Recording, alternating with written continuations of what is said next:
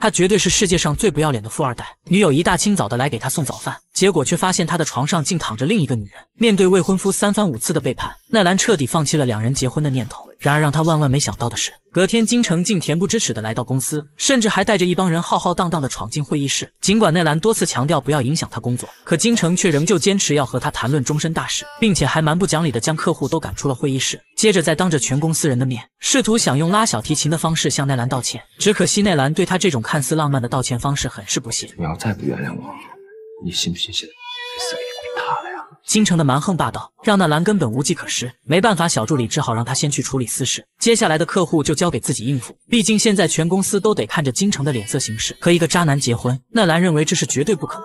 哎，你不会告诉我，因为这么一点事儿你就不结婚了吧？小助理的三观也是十分的炸裂，他甚至认为以京城目前的身份，能够大张旗鼓的当着全公司人的面道歉，已经给足了他面子。而在小助理的蛊惑下，奈兰决定再给金城一次解释的机会。结果万万没想到，金城不但没有意识到自己的错误，反而还责怪奈兰不给他面子。就这样，他又像往常一样掏出礼物，很不屑地表示这件事情到此为止。殊不知，他这种不着调的道歉态度，瞬间就让奈兰下定了不再妥协的决定。于是提出分手后，头也不回的就离开了。可对于金城来说，八年的感情不是说放下就能放下的。为此，他只好再次找来富豪老爸金振邦出面。而金振邦也十分重视这次两人的感情危机，因为这不仅关系到儿子的终身大事，同时还是他拉拢奈兰父亲。的绝佳机会，所以为了取得奈兰的原谅，金振邦本打算带一些礼物过来，结果转头又说不知道买点什么比较好。毕竟这次金城犯了大错误，他们金家总是要拿出点什么来表达歉意。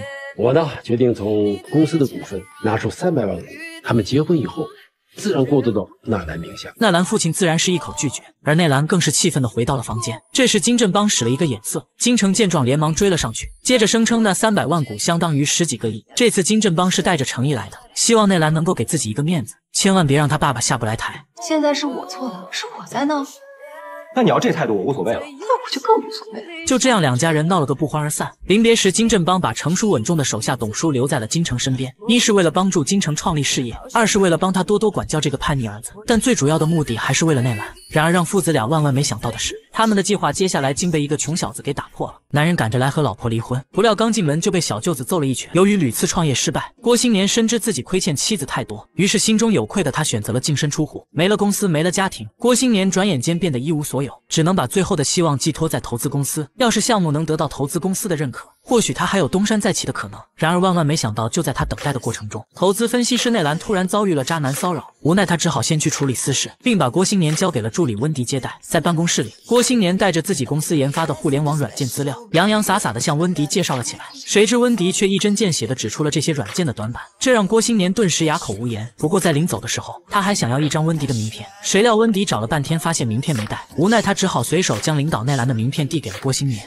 纳兰。这名字真好，殊不知就是这么一个随意的举动，却在最后引发了一场天大的误会。由于没有拉到投资，最后的希望也就破灭了。一场散伙饭过后，郭新年独自一人踏上了骑行去西藏的旅程。在蓝天白云的洗礼下，他的心情也缓和了很多。而在藏民家喝茶的时候，他无意间从自己笔记本里看到了内兰的名片，回想起那温婉的笑容，他还是没忍住拨通了上面的电话号码。郭新年热情地做了自我介绍，还说他现在在五千米海拔的高原上和他打电话，甚至还很热情地介绍自己的微博号让奈兰关注。可奈兰却觉得有些莫名其妙，在他的印象中好像根本没有接待过这样一个人。但他回去后还是看了郭新。年的微博，最后发现这世上竟然还有这么傻的人。二哈，给你找到个弟弟，比你还傻。次日一早，郭新年再次打电话给奈兰，说自己准备把每天在西藏的所见所想事实向奈兰播报。一时间，奈兰突然觉得郭新年这人很有意思，甚至脸上还洋溢起了快乐的笑容。之后的日子里，他会在公交车上和郭新年聊人生，也会在工作的时候和他聊职场，在上下班的时候和他聊生活。就这样聊着聊着，两人的感情有了一丝微妙的变化。而这天，郭新年突然萌生了一个挑战无人区的想法，并把这个想法以留言的形式发给了内兰。随后便一路骑行来到了死亡之谷。可当他骑到一处山坡时，忽然遭遇了一群饿狼袭击。在这危急时刻，幸好有一位修行僧路过此地，并成功帮他化解了危机。而在高僧的指点之下，郭新年耗时一星期，成功跨越了死亡之谷。可当他回到住处，连接到网络时，才发现在这期间，内兰整整给他留了四条语音留言。听完语音后，郭新年瞬间心头一暖，第一时间就给奈兰打去电话报平安。你干什么呀你啊！给你留言不回，给你打电话也不接，你神经病啊！郭新年感受到了内兰满满的关怀，心中反而暗自喜悦。而也就是内兰的出现，让他重新对生活产生了希望。回到北京后，郭新年第一时间就给内兰打去电话。你回来了。随后内兰犹豫了一下，提醒郭新年，如果还想创业并拿到他们公司投资的话，那他们的私人关系最好不要被人知道，因为他们公司的纪律要求比较严格。郭新年没想到内兰会这么的直接，他愣了愣后，随即便说自己从西藏给他带了份礼物，并且约他半个小时以后在街边的小酒馆馆见面。结果万万没想到的是，郭新年在酒馆等待奈兰的过程中，突然接到了兄弟被人打进医院的噩耗，这让他不得不先离开这里。郭新年在跑出酒吧时回头匆匆一瞥，他不知道自己刚好在人群中看到了内兰，而内兰在回眸时也看到了他，两人四目相对，但却因不认识而错过了彼此。于是郭新年处理完事情后，立马向奈兰打去电话，并且承诺明天会去投资公司当面向他道歉。为此，接下来也就出现了戏剧性的一幕。隔天，奈兰在开会的时候，秘书突然走进来说有位姓郭的先生在门口等他。奈兰听后心中一阵小窃喜，同时让秘书转告先让郭新年在办公室里等他。然而话还没说完，郭新年就突然出现在了会议室门口，甚至还敲了敲玻璃门，引起几人的注意。因为他一直以为助理温迪就是和他打电话的奈兰，所以还特意做了个手势让温迪出去。可奈兰又哪会知道？于是他刚准备起身离开，却不料郭新年突然摇了摇手表示不对，接着又用手透过玻璃指了指温迪。温迪见状是一脸的懵逼，无奈内兰又只好失望的坐了回去。而由于温迪每天都要接待几十个创业者，导致他早已忘记了自己曾经接待过郭新年。还好吗？还好啊。随后郭新年一边解释昨晚失约的原因，一边热情的拿出自己从西藏给温迪带回来的礼物。关键是我听说这绿萝花能减肥。在这期间，内兰的眼睛一直在往外瞟，因为他自始至终都没有明白这是怎么一回事。而毫不知情的郭新年还把自己的项目计划书塞给了温迪，同时还叮嘱他给自己多提提宝贵的意见。直到温迪有些不耐烦的说他要去开会了，郭新年这才满面春风的转头离开。而温迪看着手中的计划书，也是一头雾水，于是十分嫌弃的将他和礼物都扔进了垃圾桶。殊不知，刚刚的这一幕全被内兰看在了眼里。刚开始，温迪还以为郭新年只是一个送礼走后门的关系户，直到会议结束后，他才匆匆反应过来。你知道他为什么管我叫娜总吗？对啊，这件事我还想问你呢。温迪解释了事情的来龙去脉，这一切的误会都来自于那张拿错的名片。去去去，现在打电话告诉他，我就不告诉他，谁让他叫我减肥？纳兰闻言哭笑不得，原来郭新年一直把他当成了温迪，同时他还决定把这个美丽的误会隐瞒下去。所以在快要下班的时候，纳兰又重返回去，把扔掉的东西又捡了出来。因为只有他内心清楚，这份计划书是郭新年想要翻身的唯一机会。可就当他准备将计划书带回去好好分析时，前男友金城却突然把他骗到了家里。结果万万没想到，接下来发生的意外。行了，圣女，现在碰不得了是吧？金城还想继续，结果却被内兰推进了泳池。回想起他曾经做过的那些脏事，再加上他毫无上进心的态度，纳兰再也忍不住提出了分手。可金城却认为他家里有的是钱。虽然两人在一起整整八年，但此刻的内兰却已决心不再妥协，因为他打心底里看不起这种没有上进心的男人。结果万万没想到，当他离开的时候，却不小心将朋友的项目计划书落在了沙发上。殊不知他即将闯下一个弥天大祸。金城不甘心就这么失去内兰，决定做出点成绩让他看看。而正当他不知道做什么项目时，无意间发现了内兰遗留下来的计划书。他很好奇的打开文件袋翻看，不一会儿脸上就露出了兴奋的表情，于是立马就喊来了父亲留在自己身边的管家老董，同时还装模作样的要把资料传给香港公司的董事会。移动互联网手机软件绝对是未来最有发展前景的生意。甚至他还要和国内最大的通信运营商合作，要求老董明天就帮他约见几大运营商老板。另一边，这份项目计划书的原创者郭新年打电话给奈兰，询问他自己的报告是否有发展前景。什么报告？就是我软件开发的可行性报告啊。可行性报告。纳兰猛然间想起报告被自己落在了金城家。刚开始他确实意识到了事情的严重性，但仔细一想，像金城这样的花花公子，即使看到了也无妨。所以两人起初并未把这件事情放心上。然而让他们万万没想到的是，金城通过与几大运营商合作，再加上父亲香港财团的支持，短短几天就成立了自己的公司，并且他把郭新年魔晶的项目改名成了捷讯，同时还把父亲专门从香港请了过来，目的就是为了让金振邦参观完公司后能给自己投资。可金振邦却表示，研发的经费得靠金城自己融资。那可不行，反正后面断队了，那我就不干了。这时金振邦想起奈兰就是投资公司的经理，如果有他的支持，那资金的问题也就解决了。怎么还没和好？我最近太忙了，没时间见他。见状，金振邦还提醒他，奈兰的投资公司是行业龙头，并且下个月就要组织一场项目对接会。起初，金城并没有把他当成一回事，但没几天，工程师却表示研发出样品还需要半年。殊不知，他的这一番发言彻底惹怒了金城。你做得出来是有人格的，你做不出来，我还不如养条狗呢。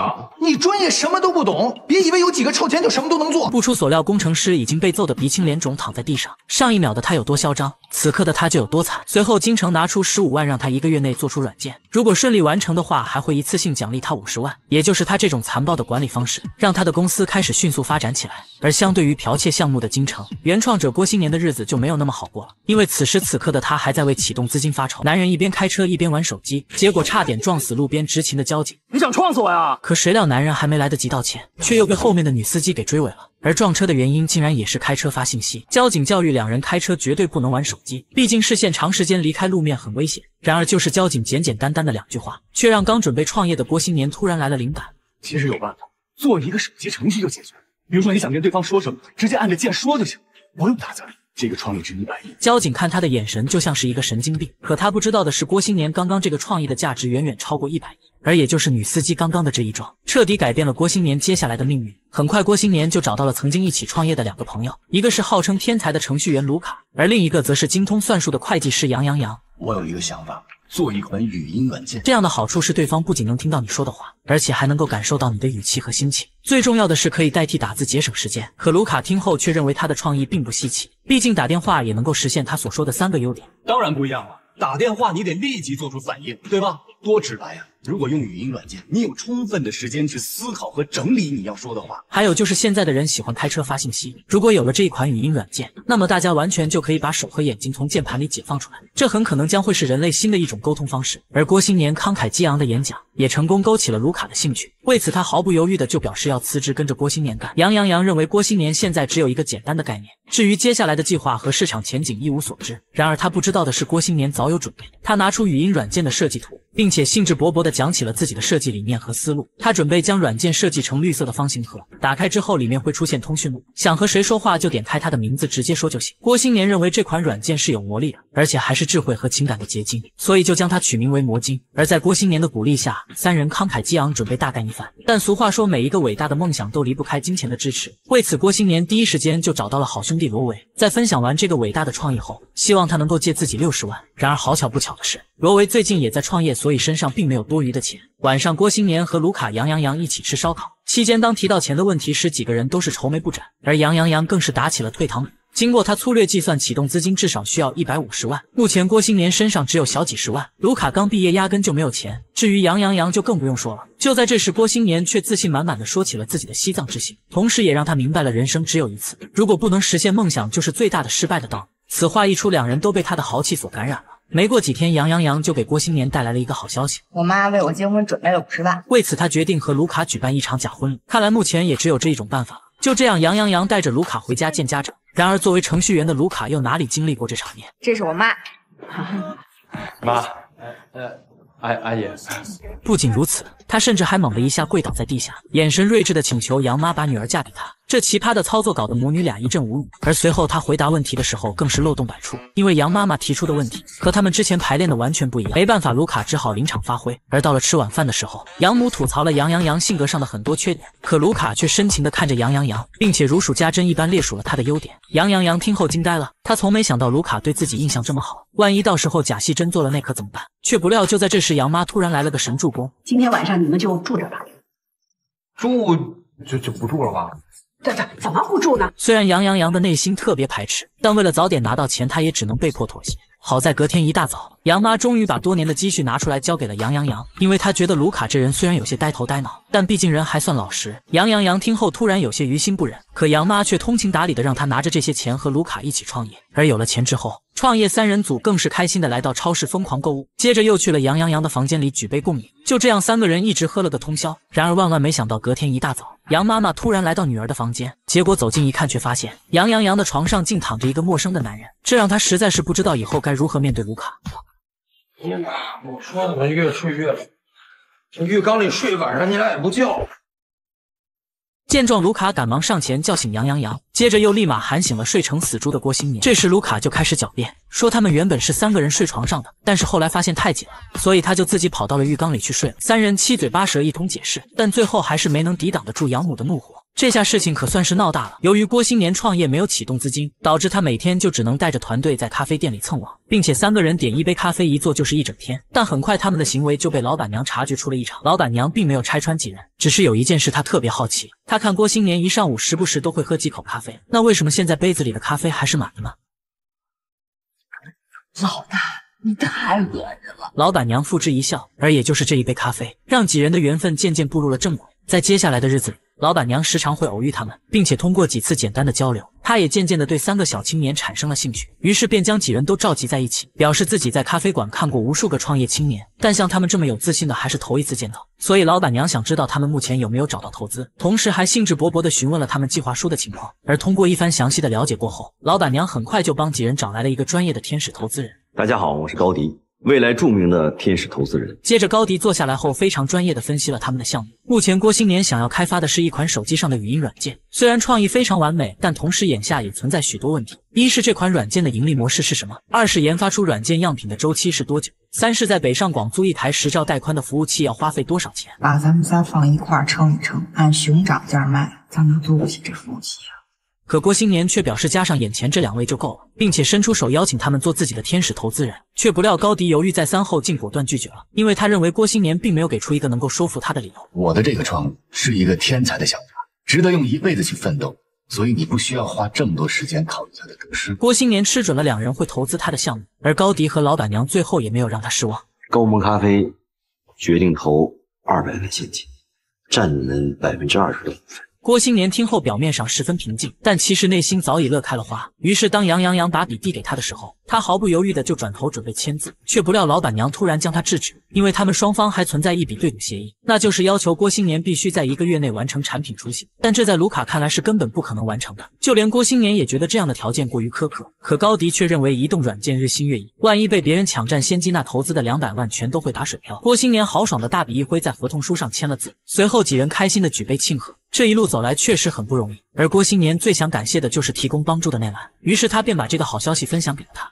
恭喜你啊！我一会儿发个邀请函给你，过两天洛菲斯有个项目对接会，你有半小时的时间阐述你的想法。表面上两人是很要好的闺蜜，但其实背地里却是各怀鬼胎。因为这次的项目对接会还会有一家公司，而这家公司的创始人罗维竟是温迪谈了八年的地下男友，所以他无论如何都要阻止奈兰帮助郭新年。双方之间的大战一触即发。男人说他要成为世界首富，结果却被老板无情开除，甚至还要求他当场脱下公司的制服。为此，罗维忍无可忍，直接揪掉了老板的假发。李守财，你就是笨蛋！蠢猪，你回去吧！大爷，我不稀罕。老板意味深长地看了一眼，没办法，罗维只好硬着头皮扒下裤子，露出了他那红色性感的四角裤。大爷不干了！不仅如此，临走时他甚至还不忘嘲讽一下老板。或许这就是打工人最后的倔强吧。但对于罗维来说，这次的选择彻底改变了他接下来的命运。很快，罗维就开发了一款名叫“狐油”的软件，并且踌躇满志地创立了公司。俗话说，每一个成功的公司都离不开一个能够画大饼的老板。为此，罗维便开始对着员工们吹牛逼，说狐油很快将会启动世界顶级公司的 A 轮融资，然后是 B 轮融资，最后成功上市。到时候，在场的各位都是原始股东，每个人的身价最少不低于十五个亿。不得不说，罗维的演讲确实很有感染力。然而，理想虽然很丰满，但现实总是那么的残酷。很快，公司开始运作后，罗维就发现狐邮陷入了困境，因为像狐邮这种聊天软件，现在满大街都是。所以在开发的过程中，他们是举步维艰。但好在这时罗维突发灵感，那就是在狐邮里增添其他功能，除了简单的聊天和发送邮件以外，还能够玩游戏、订车票、点外卖等一系列功能。公司的职员们都觉得这是天方夜谭，可罗维却认为只要有梦想就一定可以实现。但俗话说，每一个梦想都离不开金钱的支持。由于目前账上的现金流严重不足，导致公司随时会有破产的风险，所以现在唯一的办法就是得到洛菲斯的投资。但好消息是，洛菲斯即将举办一场项目对接会。这一次的项目对接会还有哪些公司参加？查过了，还有你们铁哥们新年科技。原来好兄弟郭新年也要参与这次对接会，对此罗维压根就没有必胜的把握。但好在他手上还有最后一张底牌，那就是和他谈了八年的地下女友温迪，恰好是洛菲斯投资部的小助理。现在做语音媒体开发软件的只有两家，因为总经理内兰和郭新年是很要好的朋友，所以他自然是要力保新年科技参与此次对接会。于是会议结束后，温迪立马向罗维透露了洛菲斯的内部消息，而罗维收到消息后也赶忙修改了他们的项目计划书。到了对接会这天，罗维在洛菲斯刚好遇见了温迪。但两人对视片刻后却装作不认识，各自离开。就如温迪所料，罗维向洛菲斯介绍完狐油后，立马就赢得了大家的一致掌声，包括彭总在内都很看好这个项目。就在前不久，内兰向金城提出了分手，却不料临走时将朋友的项目计划书落在了他家里。一开始内兰并没有当回事，直到这天小助理给他送来金城的计划书，纳兰才意识到自己闯了大祸，因为计划书里的内容和他朋友的简直一模一样。由于事情紧急，纳兰第一时间想要找到郭新年，决定当面道歉并和他解释清楚。可谁料车子刚开到半路，就接到了总裁打来的电话，因为下午要举行投资对接会，所以总裁要求他十分钟之内必须回到公司。就这样，他再一次把事情耽误了。而这次对接会的目标，恰好又是金城靠着剽窃所创办的新公司。会议室内，金城吊儿郎当的向投资公司宣传产品，一套流程下来，总裁等人都特别满意，唯独内兰阴沉个脸问了他这样一个问题：你能告诉我吗？捷讯的灵感来自于哪里？天上偷来的。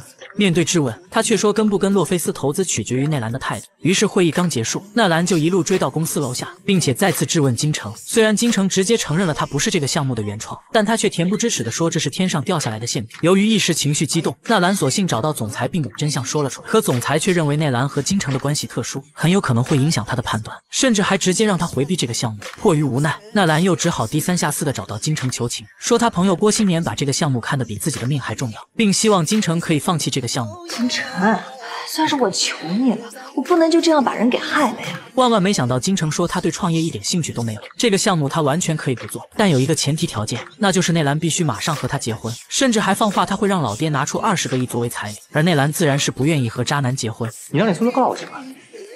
很快，郭新年就得知了项目被剽窃的事，他气愤的打电话质问内兰是谁干的。我干的。奈兰愧疚地说：“这都是他的错，是他不小心把计划书丢在了京城家，而且他也没想到这个好吃懒做的花花公子会剽窃他。可就算把他骂哭了，又能怎样？”郭新年诉说着他创立这个项目的艰难历程，而内兰就这么一直听着。但说实话，他的表情实在太淡定了，丝毫没有看出来有一点愧疚之心。随后，内兰表示，郭新年如果要告京城的话，他会毫不犹豫出面作证。谁料郭新年听后突然激动不已，因为他一个离婚官司就打了整整两年半，就算现在和京城打官司，即使赢了又能怎么样？现在的互联网行业根本不等人。我他妈什么都来不及了。自从郭新年筹集到启动资金后，便很快带领团队研发出了新软件。而这款语音软件虽然大家都不陌生，但放在十年前却是一项伟大的发明。它只需轻轻用手按住语音键，接着对着手机说出你想说的话，最后松开手指，刚刚说的话就会通过语音的形式传送到另一台设备。虽然语音软件已经研发完成，但想要成功上线，就必须获得洛菲斯的投资。好在他有个朋友内兰就是洛菲斯的总经理，为此郭新年便把项目计划书发给了内兰。可奈兰看后却觉得一百页的 PPT 太长，毕竟他们洛菲斯不是互联网讲堂，断其十指不如断其一指，所以必须要抓住重点，说清楚什么才是魔晶的特点和优势。郭新年听后有些触动，于是便决定将计划书压缩到三页以内。殊不知他的想法很快就遭到了杨洋洋的反对，原因是这一百页的计划书他写了整整三个月，一时间团队内部争执不一，没办法，大家只好举手表决。但显而易见，最后还是郭新年胜出。很快到了项目对接会这天，原本洛菲斯就只给了他们半小时的时间，可郭新年因为迟到就已经耽误了十五分钟。无奈他一上来只好剑走偏锋，突然问起在场的洛菲斯员工是否都有车。不愧是洛菲斯啊，都有车。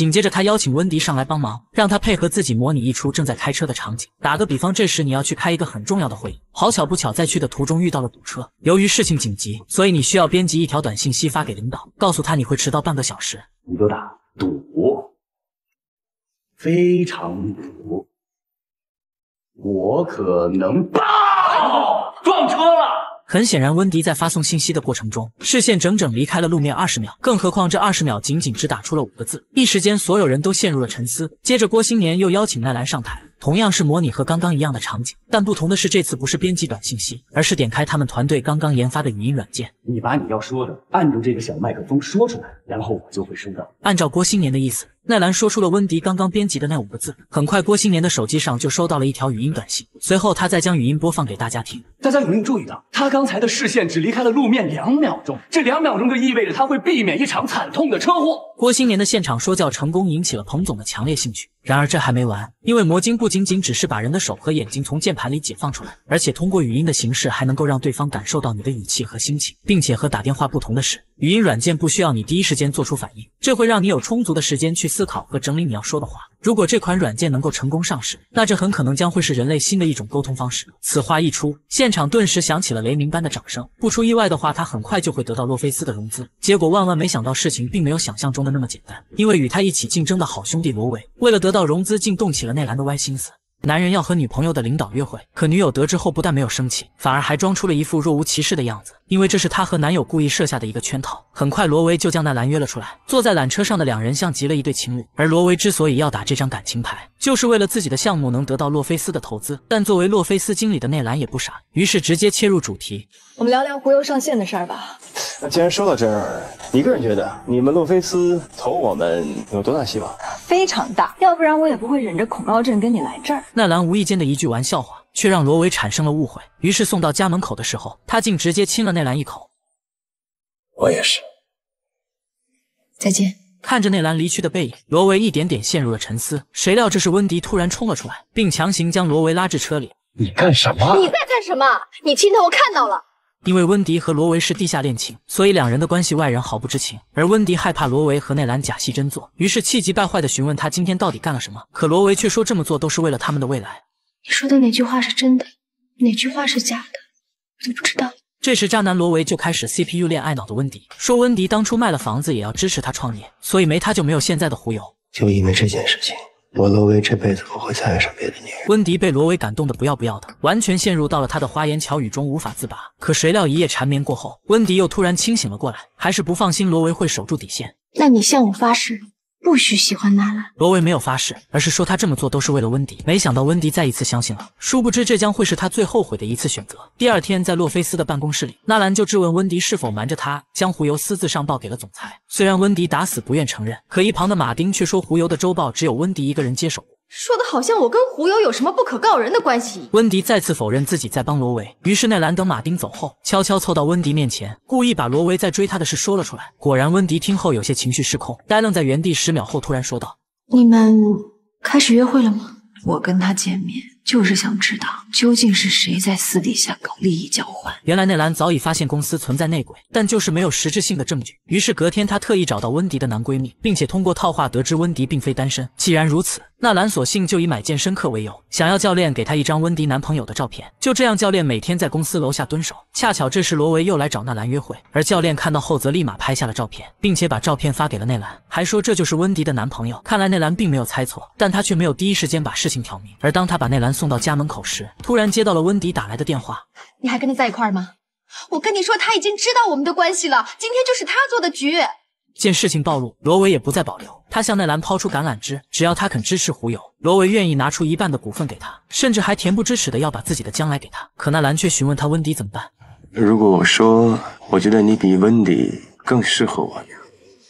罗维说的是真心话，因为金钱对他来说比任何东西都重要。但就是没料到他刚刚的这一番话，全被纳兰用录音笔给录了下来。纳兰警告他，如果再敢搞小动作，那他就把录音笔交给温迪。这一局罗维输得很彻底。而奈兰本想将温迪的行为上报给公司，可谁料温迪竟泪流满面的开始诉苦，富二代公开抄袭他人创意，结果彻底惹怒了台下的原创者。你觉得他能卖多少？而郭新年之所以如此生气，是因为京城不仅剽窃了他的项目，甚至还派人摧毁了他的研发成果。于是郭新年为了报复，便要求记者把摄像机都对准自己。我就不信了，你靠抄袭、靠剽窃就能做出世界级的作品？我呸！郭新年说完，潇洒的转头离开。可此时的金城却并没有把这个穷小伙当回事，殊不知这将会是他做过最后悔的一个选择。回到魔晶的研发基地，郭新年的两个合伙人正在收看捷讯发布会。但当看到捷讯的功能和界面跟魔晶一模一样时，高迪忍不住破口大骂。而当两人一直在不停吐槽时，郭新年的声音突然从身后传来：“他们不是一直不要脸吗？”不是一直在剽窃我们的东西吗？那我们能不能想个办法做一个东西是他们剽窃不了的？为此，郭新年当即就向两人表达了自己的新思路，那就是在魔晶里加入群功能，并且创造一个像会议室一样的空间，允许多个人加入进来，同时语音说话。在这期间，他们可以自由的组合分开，而且还可以为空间命名要想命名的主题。这其实就是移动互联网的 QQ，但是我们比它更自由。其实说了这么多，大家能够隐约察觉到，郭新年所说的就是现在公司开会都在用的某钉。徐佳莹和高迪听后都惊呆了，不仅连连称赞郭新年是个天才，同时还爽快的答应再给他投资一百五十万的研发资金。为此，郭新年第一时间就把这个好消息分享给了卢卡。然而，郭新年还是高兴的太早了，由于他把这一想法分享给了投资界的大佬。导致这件事很快就传到了京城的耳中。郭新年，我看我们需要见一面了。尽管众人一再劝说，可奈何郭新年非要见面，因为他认为是时候该和京城做一个了断了。很快，两人约见在了一间废弃的旧仓库。一上来，京城就扔出两个沉甸甸的手提箱，在郭新年疑惑的目光下，手提箱慢慢被打开，整整两百万的现金突然就出现在了他眼前。京城想要一次性买断郭新年的魔晶，让他拿着这些钱和股东们分一分，同时他还愿意给郭新年个人一笔结训的股份。魔晶是我的孩子，你让我把孩子卖了？那我后半生怎么过呀？眼看一言不合，金城索性撕破脸，开始威胁郭新年，说他上次派人撞的是研发基地，但下次说不定就会撞到他这个人。所以我这种人上不了岸。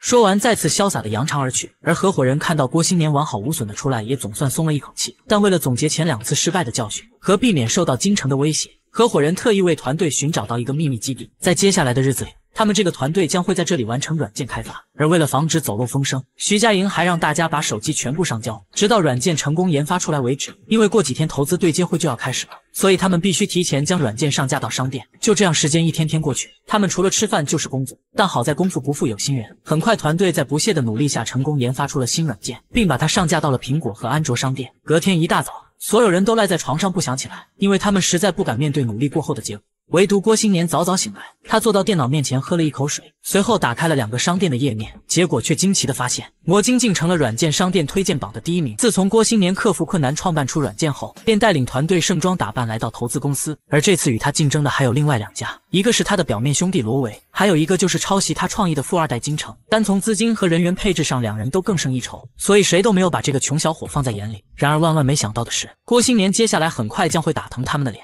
没多久，项目对接会正式开始，三家。语音软件公司同时参与竞标，除了五分钟的演讲以外，最重要的还是看他们软件上架后的下载量。而胜出的那一家将会获得洛菲斯的巨额融资。首先，第一家发言的是富二代金城，他一上台就开始极力宣传捷讯的优势，并表示客户使用捷讯每发一条语音，他们都会收取一块钱的费用。而当有分析师质疑金城收费不合理时，他又会毫不犹豫反击，根本不给对方面子。接着又有人认为捷讯很难成为生活必需品，可金城却蛮横的表示，他将软件捆绑在了手机上。截至目前为止，已经有一百七十万台手机上含有捷讯，也就意味着有一百七十万个人在使用捷讯。为此，金城十分自信地向大家保证，如果能够得到洛菲斯的融资，那捷讯很快将会完成上市。一阵掌声过后，第二个上场的是同样抄袭郭新年的罗维，只不过和郭新年不同的是，罗维的狐油除了语音功能以外，还增添了很多生活类的服务，比如点外卖、订车票、查查看天气等等功能。但这些也仅仅只是他掩盖自己抄袭的一块遮羞布。随后，罗维用两周下载量一百一十万的数据向大家证明，他的狐油还是非常有实力的。果不其然，彭总看完数据后，对狐油未来的发展大为期待。而最后一个轮到郭新年代表魔晶上台发言，然而此时的郭新年却被两个抄袭者气得不轻，于是就表现出了一副很不自在的样子。毕竟在两个强敌面前，他的魔晶几乎没有胜算。嗯，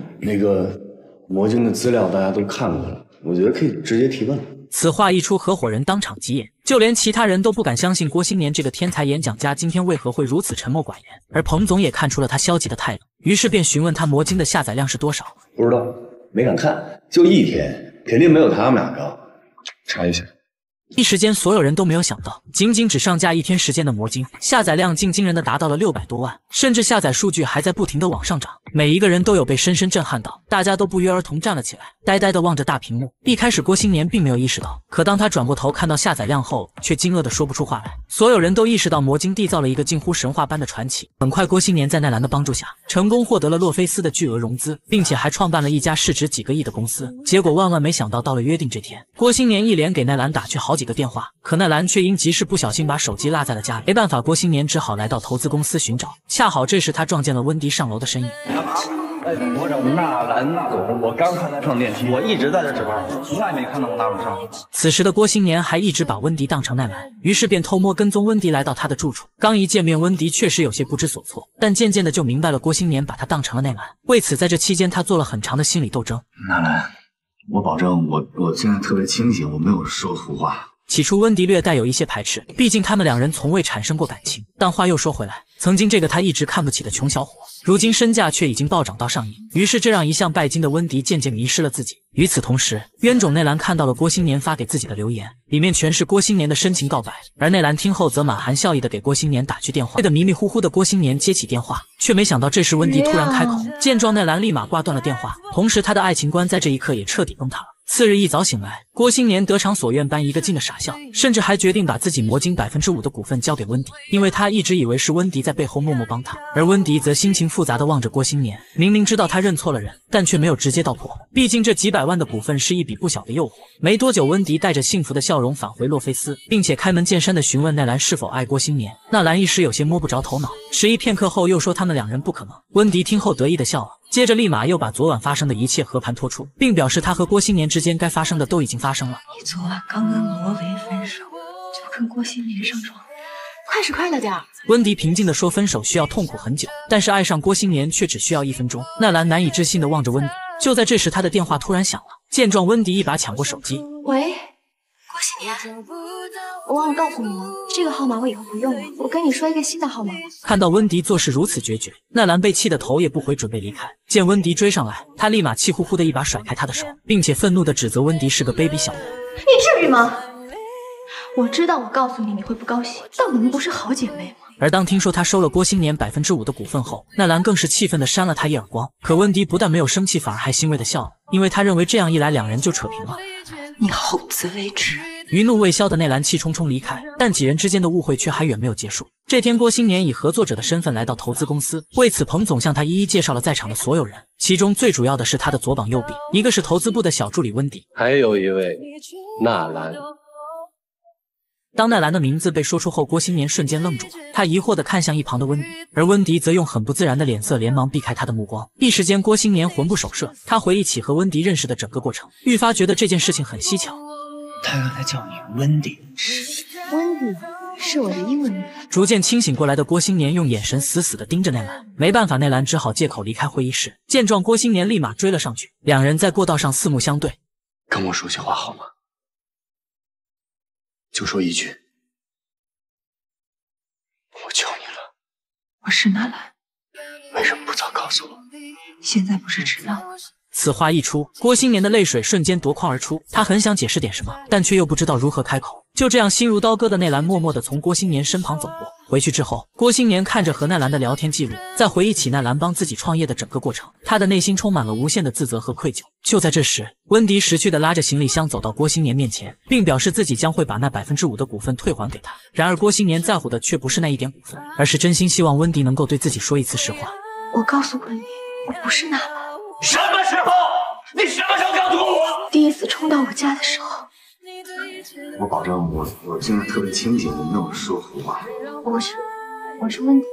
郭新年一直以为温迪是奈兰的英文名，得知真相后的他连扇了自己好几个巴掌。见状，温迪又立马打起了感情牌，说那天自己正好和前男友分手，为此迫切的希望能找到一个情感的寄托。好巧不巧，就在这时，郭新年突然来找自己，并且还说要用下半生来陪伴自己。于是贪念那份承诺的他也就迷失了自己。说完，温迪头也不回的就准备离开，结果万万没想到，郭新年突然将他叫住，并且表示该说对不起的应该是自己。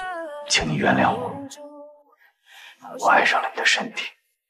和另外一个女人的生这一句话简直太太太太太太太炸裂了！更离谱的是，郭新年还祈求温迪留下来，把之前的一切都忘掉，两人重新开始。随后迟疑片刻，一把将温迪搂在了怀里。但俗话说，假的东西终归也还是假的，毕竟内兰才是郭新年人生和创业路上的唯一情感寄托。而接下来，温迪也很快露出了他的真面目。在一年一度的互联网大会上，郭新年推出了自己刚上线的语音软件魔晶，而一同上台的还有和他竞争的金城，外加和金城合作的两家通讯公司。为此，发布会一开始，郭新年就向观众展示了魔晶的强大功能，并承诺用户可以在他的软件上免费发送无限数量的语音信息。金城质疑魔晶是否真的免费，毕竟魔晶占用了运营商的网络资源，而且魔晶并没有支付任何费用用来铺设和维护网络。你是个寄生虫，是个穿西服的贼。金城的话引发了现场观众的争议，因为谁都不愿意为免费的事情付出代价。而金城之所以会极力诋毁魔晶，是因为他自己的语音软件每发一条语音信息，就需要支付一块钱的费用，所以为了生存下去，他必须要当着众人的面打败免费的魔晶。郭新年将魔晶和运营商的关系类比成了当年蒸汽机淘汰马车一样，他认为魔晶的免费模式同样也是一种创新。虽然在这期间会消耗大量的网络流量，但这却不意味他们不缴纳服务器的钱。然而运营商却表示，电信业务是国计民生的一部分，必须要有国家牌照，而魔晶的免费模式则违反了这一项规定。郭新年笑了，因为他从没听说过开发一款软件还需要登记牌照，同时也没有任何一条法律规定他在合理使用服务器的情况下，还需要另外给运营商的公共系统缴费。你这叫什么创新的力量？你这是在用不正当手段洗劫国有资产。京城的话音刚落，所有互联网人士都沸腾了，有的人支持京城，而有的人则支持郭新年。就在这时，大佬李奔腾站出来为郭新年辩护，他认为随着互联网的高速发展，势必会淘汰运营商们的基础通讯业务。可谁料京城仍旧不死心，他继续指责魔晶就是在浪费公共基础系统。而正当双方的辩论陷入到僵局时，魔晶公司的投资部经理奈兰突然站了出来，同时他的出现也让整个场面变得异常紧张。奈兰指出，公共资产是属于全民的，而不是一门生意，更不是某些利益集团的私有财产。奈兰的发言让金城无言以对，现场顿时响起了雷鸣般的掌声。然而，即使这样，好兄弟罗维却并不看好郭新年。他向温迪讲述了一个老狼和小羊的故事，以此来暗示郭新年没有做错任何事情。但这却并不能阻止运营商的攻击，同时也隐喻魔晶压根就不是运营商的对手。发布会结束后，郭新年则对内兰表达了感激之情。虽然内兰表面上说是为了公司投资安全着想，但实际上是他的心里始终放不下郭新年。而经历完这一场激烈的互联网大战后，郭新年沉浸在了美好的未来之中，无法自拔。男人无意间发现自己的前女友竟和好兄弟抱在了一起。哎，干什么？他和你什么关系？那你听好了，郭新年是我现在的男朋友，我可以给你介绍，他就是互联网的明日之星，是所有人都公认的天才。万万没想到，温迪无意间的一句话，竟彻底成了压死罗维的最后一根稻草。为此，他强压心中的怒火，将郭新年叫至一旁，询问他和温迪到底是什么关系。你怎么了？他到底是不是你的女朋友？是啊，此话一出，罗维直接一拳打在了郭新年的脸上，而郭新年也不顾他人阻拦，直接冲上前对罗维展开了反击。就这样，这对曾经一起奋斗过的好兄弟，在全国互联网大会上当着众人的面扭打在了一起。虽然两人最后总算被拉开，但由于影响恶劣，还是被请进了派出所。而在派出所的调解室内，罗维再次询问郭新年是什么时候跟温迪在一起的。郭新年回答，在他创业成功的那天。罗维听后当场愣住了，因为就是在那天，他和温迪刚分的手。跟他在一起已经同居了两年了。郭新年听后简直不敢相信，毕竟他去罗维家住的时候，从来没见过温迪。为了我的事业，我必须隐瞒。因为罗维作为一个创业者，要和投资者避嫌，所以这两年他和温迪一直属于地下恋情。同时，他也很好奇，既然郭新年不认识温迪，那为什么会突然和他在一起？我认错人了，我以为他是纳兰。罗维听后差点当场去世。自己的兄弟不仅扑错了女朋友，而且这个女朋友还是自己刚分手的前女友。到底是怎样一个神仙编剧才能写出这样离谱的剧情？得知真相后，罗维实在是没理由责怪郭新年。同样，郭新年也欣然接受了罗维打他的那一拳。既然误会都已经解除了，两人也就没再记恨对方。毕竟温迪才是挑起这场矛盾的导火索。要不是他故意隐瞒自己的身份，郭新年和罗维也不会落得如此窘境。而郭新年刚刚的举动，也让温迪察觉罗维已经将他们的事情全盘托出。所以他现在想的是接下来如何向郭新年解释。另一边，小弟很好奇他们俩兄弟为何会突然打一架，可罗维却表示失去温迪是他这辈子犯过最大的错误。他这是在惩罚我。我会把她抢回来的，她是我的女人，谁也不能跟我争。小弟的眼神就像在看一个大冤种。当晚，郭新年回到家，温迪还特意准备了红酒，准备在郭新年开口质问前，先向他讲述自己和罗维的故事。然而，郭新年却淡淡的表示，罗维都已经告诉自己了。郭新年认为，罗维虽然打了他，但在这件事情上，自己还是很同情他的，因为罗维这两年对温迪付出了所有。可在他创业失败、人生低谷的时候，温迪不但没有与他风雨同舟，反而还在这关键时期抛弃了他。你是说我是一个坏女人吗？郭新年说自己离过婚，所以他特别清楚遭受了这样的伤害，对一个男人来说是多么的痛苦。明里暗里都在讽刺温迪确实是一个坏女人。你别往下说了，你是想逼我从这儿跳下去？接着温迪又反驳说，整个过程中受到伤害最大的人是自己。可既然这样，郭新年便质问他，明知道自己和罗维的关系，那为什么事先不告诉自己，并且还一直隐瞒？因为我害怕失去。说完，温迪伤心的起身离开。自从郭新年研发出语音软件后，便很快被大佬李奔腾请到家中。表面上说是想要和郭新年寻求合作，但实际上却是要把他的魔晶收购到自己的麒麟中。温迪在一旁连忙提醒他，现在的魔晶需要更大的平台。然而郭新年却表示，互联网就是自己的平台。面对着李奔腾开出的诱人价码，郭新年丝毫没有理会，反而侃侃而谈。最后总结说自己并不想被麒麟收购。最后李奔腾留有余地的希望他好好考虑，并且还表示自己的提议在很长时间内都有效。因为此时的他内心特别清楚，狂妄自大的郭新年终会有一天来求到他。随后郭新年回到魔晶公司，发现大家都在一脸严肃的看着他。直到温迪提到李奔腾，郭新年这才得知，原来大家对他拒绝麒麟收购的举动很不满。这时高迪让他给出一个拒绝收购的理由。我们已经终结了所有的短信业务，我的下一个目标是终结麒麟，我要让他们都变成昨日黄花。此话一出，股东们大眼瞪小眼，因为但凡是一个正常人都不会说出如此狂妄的话。面对大家质疑的目光，郭新年慷慨激昂地向众人描绘着自己的商业蓝图。他准备把魔晶开发成一种生活方式，而不仅仅只是一个软件。郭新年的一番演讲说的大家心潮澎湃。同时也赢得了现场所有人的热烈掌声。但俗话说理想很丰满，而现实总是那么的残酷。没多久，魔晶的投资公司就收到了一则坏消息，运营商们逼着魔晶收费，导致魔晶免费使用的优势就会迅速失去。所以现在唯一的生机就是让郭新年同意麒麟收购，只有背靠麒麟这个实力强劲的大平台，魔晶才有希望能够继续生存下去。所以你还有个任务，说服郭新年。有人比我更适合。而内兰所说的这个人就是温迪，毕竟温迪才是郭新年现在的女朋友。或许他说的话郭新年能够听进去，然而温迪却表示太难了，因为就在刚刚他还尝试过劝说，只可惜郭新年压根就没有理会。无奈内兰只好说出了事情的严重性。目前几大运营商正在联手起诉魔晶，魔晶都已经处在了生死边缘，可温迪却还在为感情的问题争风吃醋。一方面他占着魔晶百分之五的股份，同时还每个月拿着投资公司的工资。奈兰实在是搞不明白他到底是属于魔晶还是洛菲斯。万一彭总问起来，他真的不知道该如何回答。你就。实话实说吧，那样我就无路可走，我就可以真的辞职了。明眼人都能够看出来，温迪想要辞职，毕竟这一点工资在股份面前一文不值。于是接下来他便向彭总坦白了一切，并且当面向他提出了辞职。然而彭总却并不打算放过他，于是阴着个脸询问这事还有谁知道？纳兰。彭总听后人都傻了，于是第一时间将奈兰叫到办公室，询问他和郭新年到底是什么关系。从头说。奈兰如同倒豆子一般，向彭总陈述了自己帮助郭新年的前因后果。这时彭总就很纳闷了，既然奈兰帮助郭新年创业成功，那郭新年为什么会把股份给到温迪？他不错人呢。这中间的故事可谓是相当的炸裂，可彭总却管不了那么多，他只知道自己的左膀右臂一直在背后捣鬼，这在投资公司是一件特别忌讳的事。都在骗我，你们都在骗我。奈兰反问彭总是否需要自己辞职，可彭总却愤怒地警告奈兰不要再威胁自己，毕竟现在他们投资的魔晶危在旦夕，所以为了弥补之前犯下的错误，他吩咐两人必须全力以赴帮魔晶度过危机。首先，作为女友的温迪率先出马，但此时的形势远比他想象的还要复杂。面对运营商们的联名起诉，股东们纷纷想要卖掉这个随时都有可能破产的魔晶，可唯独郭新年坚持要带领魔晶走出困境。看到郭新年一脸的不合作，老板娘就劝说魔晶并不是他一个人的，不能一讨论问题就是这样一副态度。况且魔晶现在正面临起诉，万一被法院封了，那可就什么都没了。现在就连温迪都认为郭新年应该卖掉魔晶。此时的郭新年已经到了疯魔状态，因为他把魔晶当成了自己的孩子，所以无论如何都不能让人把他卖掉。我不赚钱了，行了吧，各位。我帮你们赚钱，但是你们得支持我。然而以目前的形势，高迪还是劝说他能够现实一点。看到股东们都不理解自己，郭新年心灰意冷之下约见了奈兰。因为在他创业的这条道路上，唯有奈兰才是他精神和心灵上的唯一寄托。而这次也是两人的第一次非正式见面。郭新年从里到外都写满了尴尬二字。毕竟原本奈兰才应该是他的女朋友，而且那百分之五的股份也应该是属于他的。所以这次他想听一听奈兰是什么意见。你说的我听。为什么？道理很简单，因为魔晶是他们两人共同的孩子。而就如郭新年所猜想的一样，纳兰也特别反对卖掉魔晶，原因是以魔晶现在的发展趋势，未来很有可能将成为一款世界级软件。况且在被起诉的问题上，魔晶是不是非法竞争，现在还不知道。不是有那么一句话吗？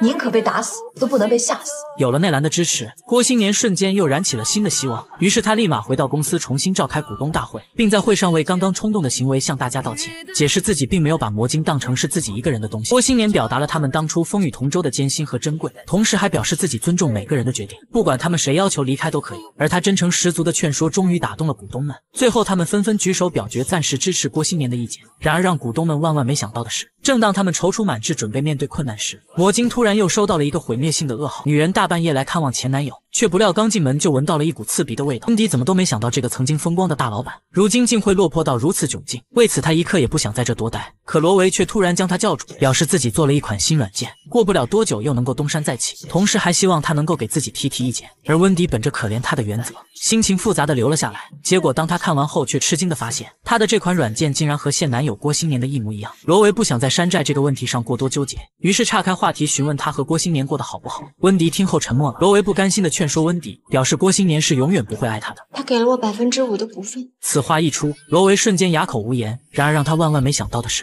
温迪在临走的时候，竟偷偷拷贝了一份他的新软件。回到家后，温迪小鸟依人般的依偎在郭新年怀里，坦白自己今天去见了罗维，并且有预感罗维迟早会成为他的竞争对手。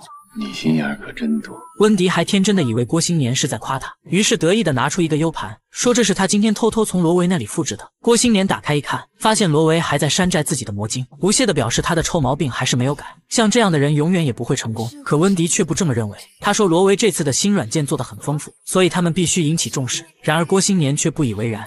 你就真的一点也不吃醋吗？我就算吃醋，也不希望你去做间谍。此时的郭新年怎么都不会想到，温迪的这个举动竟成功救了他一命。次日，郭新年回到魔晶，一进公司他就听到了股东们正在激烈的争吵，原因是魔晶被运营商起诉后，苹果商店给他们下发了一个要在三天内下架的通知。一时间，郭新年沉默不语，而高迪和老板娘却已经吵翻了天。毕竟软件一旦下架，那他们可就什么都完了。就在这时，温迪和内兰也赶到了魔晶，表示他们彭总正在与苹果商店的主管谈判，而谈判的结果则是魔晶在三天内下载量增加一千万，否则他们在三天后必定下架魔晶。最终，彭总无奈与主管达成协议，但想到如何在三天之内让下载量翻一番，在座的各位都是一筹莫展。与此同时，大家都将目光投向了郭新年，除非他能够在短时间内完成一次伟大的技术变革。而郭新年犹豫再三后，向大家展示了罗维的那款新软件。郭新年向大家介绍，罗维在模仿魔晶的语音聊天基础上，还新添加了一个朋友圈功能。虽然一开始他并不看好，但仔细一想，这确实是一个很不错的创意。所以现在他们只有孤注一掷赌一把了。而在围绕是否请罗维过来帮忙的问题上，股东们意见不一，产生争执。但好在最后大家举手表决，多数通过，唯独程序员卢卡极力反对。看到没有人支持自己，他愤然离开，跑到了天台。而他之所以如此气愤，也是有原因的。自己点灯熬油做出的魔晶被罗维抄袭，换做是谁心里也不会好受。他是温迪的前男友，所以你觉得我想请他来吗？卢卡听后瞬间没了脾气。然而让郭新年万万没想到的是，在他做出这个决定之前，已经有两家大公司向罗维抛出了橄榄枝。而这次约他见面的正是互联网大佬李奔腾。因为目前圈内最大的语音软件魔晶即将倒闭，所以他想邀请罗维加入自己的设计团队，重新研发出一款新软件，以此来代替魔晶。罗维听后迟疑不决，他不明白李奔腾为什么会偏偏看中自己。我想找一个熟悉魔晶的人，像你这样的人。来做我的技术总监。小弟听后心中窃喜，毕竟谁都希望在大公司里效力。然而罗维却不是这么想的。既然李奔腾这么着急用他，说明自己目前一定存在某种价值，于是便表示他还需要考虑几天。如果连这种事情都要考虑几天，你干脆别来了。李奔腾这是在和罗维做心理博弈，而正当两人的谈判陷入僵局时，罗维突然又接到了一通电话。这通电话是富二代金城打来的，他声称自己准备开发一个新的软件，甚至还诚挚的邀请罗维来做。此话一出，罗维瞬间清楚了自己的价值，于是他先随便找了个理由搪塞过去，接着迈着六亲不认的步伐返回房间，随后底气十足的对着李奔腾狮子大开口：“我要的是这个软件将来百分之四十的股权。”李奔腾听后笑出了声，他看着罗维一副桀骜不驯的样子，坦白这样的条件过于苛刻。而正当两人的谈话进入到白热化阶段时，罗维竟然又又又接到了一通电话，给他打电话的正是魔晶的创始人郭新年。因为所有人都盼着魔晶倒闭，所以他不得不找到好兄弟罗维帮忙。而两人刚一见面，罗维就毫不掩饰地说李奔腾来找过自己。这时郭新年一针见血地指出，如果罗维去了李奔腾的公司，顶多就只能充当他的一条狗。而看到罗维心领神会，郭新年直奔主题，邀请他来帮助自己拯救公司。要不说两人是一起吃过苦的好兄弟，只需轻轻一点，立马就达成了默契。随后罗维又重新跑回麒麟公司，郑重其事地告诉李奔腾，自己已经想好了，准备去魔晶。原因很简单，他和郭新年虽然是竞争对手，但却都属于创业者，是同一类人。而您，运营商是这个世界的统治者，创业者要做的是挑战的。说完，罗维头也不回的就离开了麒麟公司，接着在郭新年的带领下来到魔晶团队，来到了这个能让他完成梦想的地方。但俗话说理想很丰满，可现实总是那么的残酷。罗维来到公司后，这才得知魔晶想要不被苹果商店下架，那五天内必须增加一千万的下载量。没办法，他们只好殊死一搏。为此，罗维提出将自己软件里的创意写进魔晶，却不料他的想法竟遭到了程序员卢卡的强烈抵触。他认为魔晶的初衷就是简单纯粹，不应该被罗维胡乱瞎搞弄成大杂烩。从现在开始，技术问题都听罗维。要听你听，我不听。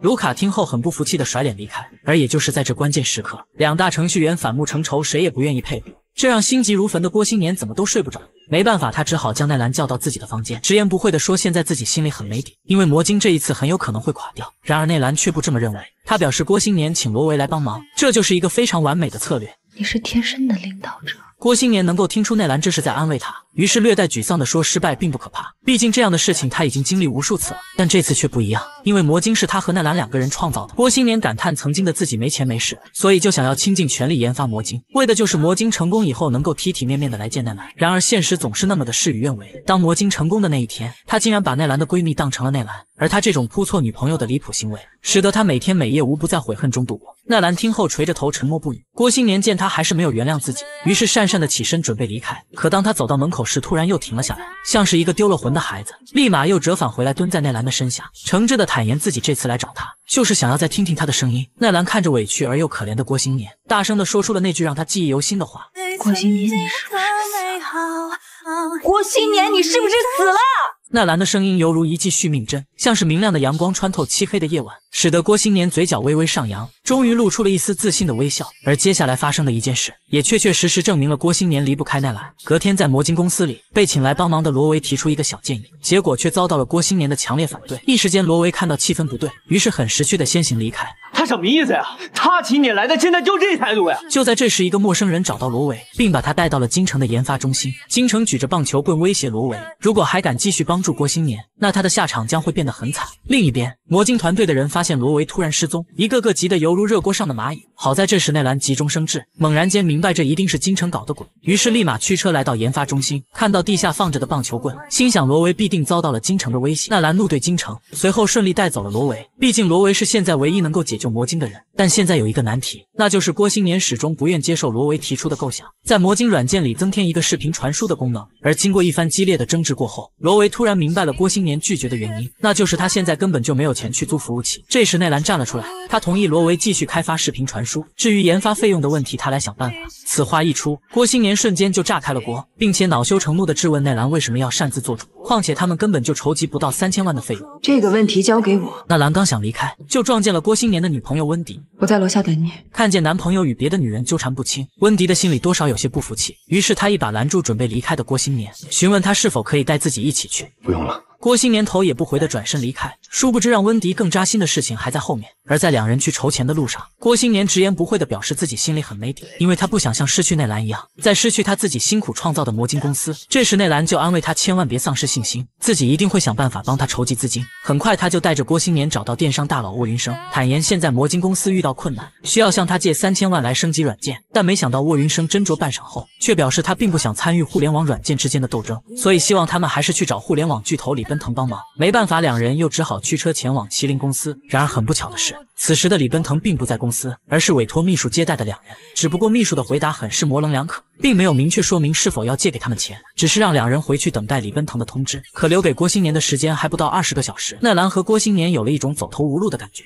毕竟等待宣判的过程是最难熬的。趁着魔晶还没有倒闭，郭新年把奈兰带回了家里，为此父母还给他准备了丰厚的饭菜，同时还嘱咐郭新年千万不要放弃。临走时，奈兰忍不住羡慕郭新年真幸福。可郭新年却认为还是因为内兰的面子大，毕竟这是父亲从小到大第一次对他这么好。那你记住啊，下次回家一定要叫上我。面对这赤裸裸的暗示，郭新年感到既惭愧又无奈。毕竟那兰才应该是他现在的女朋友。而回到魔晶公司后，两人发现团队的成员们一直奋斗到精疲力尽，说明此时的他们并没有放弃。于是当奈兰劝说郭新年早点休息时，郭新年却固执地说自己要等待李奔腾的电话。我俩轮班，两个小时以后你来，听话。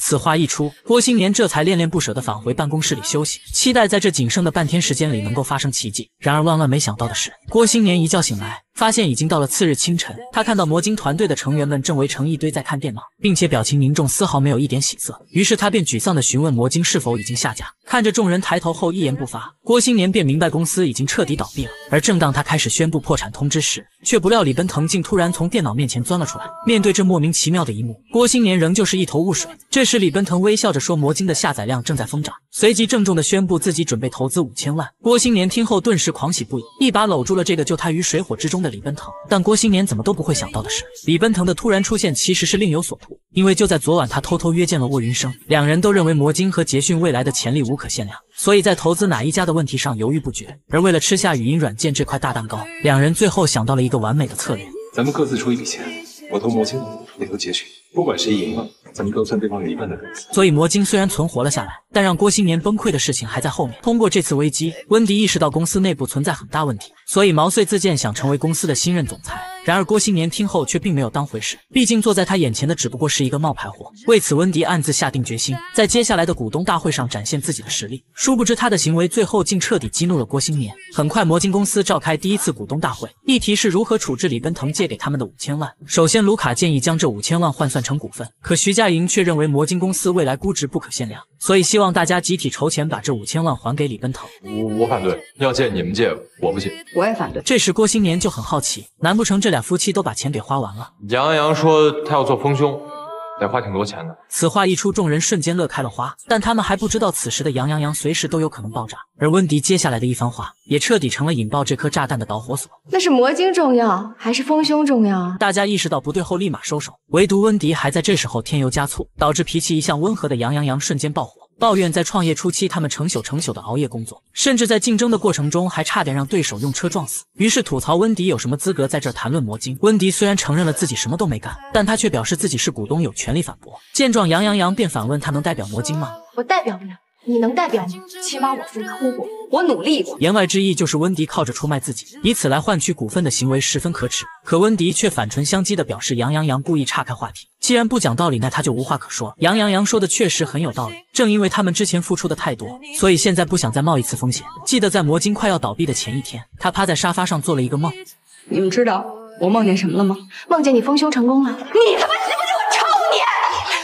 随后，杨阳洋恼羞成怒的当场离开，留下温迪一个人傻愣在原地。然而这还没完，回去之后，温迪愤怒地指责其他股东都在针对自己，而为了保障他们两人在会议上拥有绝对的话语权，他甚至还决定将其他几位股东全都踢出局。郭新年听后非常吃惊，他简直不敢想象眼前这个女人竟然如此可怕。为此，郭新年严厉的看着温迪，警告他以后不许再提这些。可温迪却不以为然，并且在心底暗暗打下了小算盘。隔天，郭新年特地跑到美容院安慰杨洋洋，可杨洋洋却一点也不想搭理郭新年。没办法，他只好让卢卡帮自己想想办法。这时，卢卡就提醒他，温迪并不是一个善茬，每次公司一出事他就躲起来，而公司一旦好起来后，他又会跑出来作妖。卢卡这一段发自肺腑的话，使得郭新年听后一点点陷入了沉思。就在这时，杨洋洋突然冲了进来，老大。重要的事情说三遍，温迪是没女神。三人这几年过命的关系，不是温迪一个人能够挑拨的。而随着温迪的一再作妖，他的好日子也很快就要到头了。虽然两人曾经网恋了半年时间，但这却是郭新年第一次来到内兰的家里。他表示自己之前给他打电话的时候，每次都会想象他的房间会是什么样子。很快，两人就把思绪拉回到了从前。之前网恋的时候是多么的美好，但随着时间线的推移，这一切的美好都已经不复存在了。结果那天晚上给你打电话，你怎么都不接。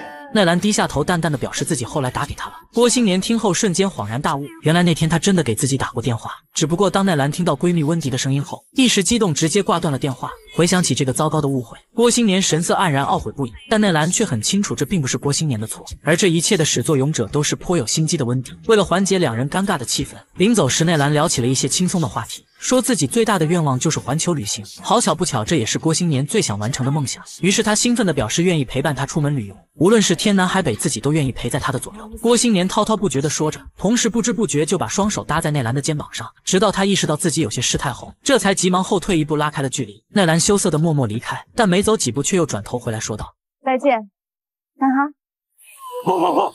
回去之后，温迪明知道郭新年去见了奈兰，但却还故作轻松地询问他去哪了。我去了趟纳兰家。郭新年直言不讳的回答，使得温迪的嫉妒心到达了极点。为此，在接下来的日子，他总是会一直提防着奈兰，无论奈兰去哪里，他都跟着。即使这次他是来和郭新年讨论工作的，可温迪却非要一口咬定两人这是在背着自己偷偷约会。郭新年见状，顿时面露不悦之色，丢下一句改天再聊后，悻悻离开。这让醋意大发的温迪心中很是不快，于是他就把气都撒在了奈兰的头上。我就是那个多余的人。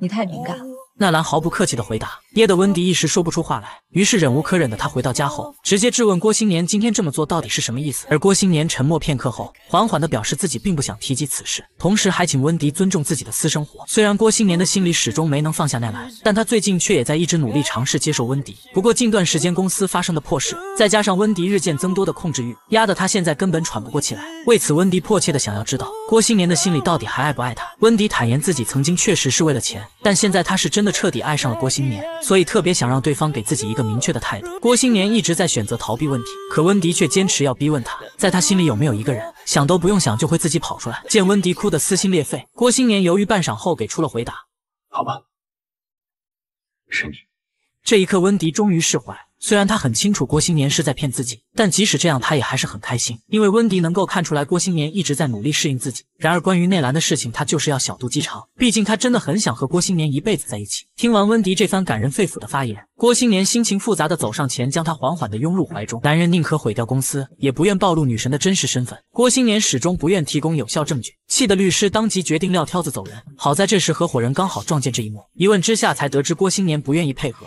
于是他心急火燎的找到郭新年，要求他无论如何都要提供那个证。可郭新年翻来覆去就只有一句话：这是我的私事。高迪恼火的拿出了法院通知书，气急败坏的告诉他下周二开庭后悻悻离去。郭新年看了看后，仍旧无动于衷。殊不知这件事情很快就出现了转机。这天在魔晶公司里，郭新年再次冲着律师大发牢骚，指责他办事不力，整天就知道矫情。然而律师却也有自己的委屈，毕竟是郭新年一直不愿意透露证人。而正当两人的谈话陷入僵局时，女神奈兰突然赶到魔晶公司，随后把郭新年叫到了天台，责怪他公司都要快倒闭了，为什么至今都没有把自己加入到证人名单？你做我的证人，你在法庭上怎么说？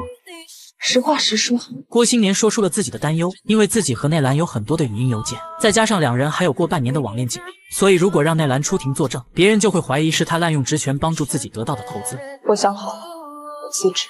纳兰宁可毁掉前程，也要帮助郭新年度过危机。这样的双向奔赴虽然很美好，然而郭新年却表示自己根本做不到，因为与其失去魔晶，他更不想失去纳兰。纳兰听后有些动容，离开前他郑重地告诉郭新年，这场官司本身就是自己犯下的错，并且魔晶是自己和郭新年共同创造的孩子，所以他不允许魔晶夭折。说完，内兰就立刻去见了律师，坦白自己就是郭新年口中的证人，自己有义务说出事情的真相。与此同时，女友温迪来到魔晶公司，可当他得知内兰准备出庭作证后，不禁醋意大发。温迪愤怒地指责郭新年冒着魔晶败诉的危险也要袒护奈兰，可郭新年却说奈兰来这里作证是为了大家，为了魔晶公司，所以希望温迪不要把私人恩怨扯进来。你都说话？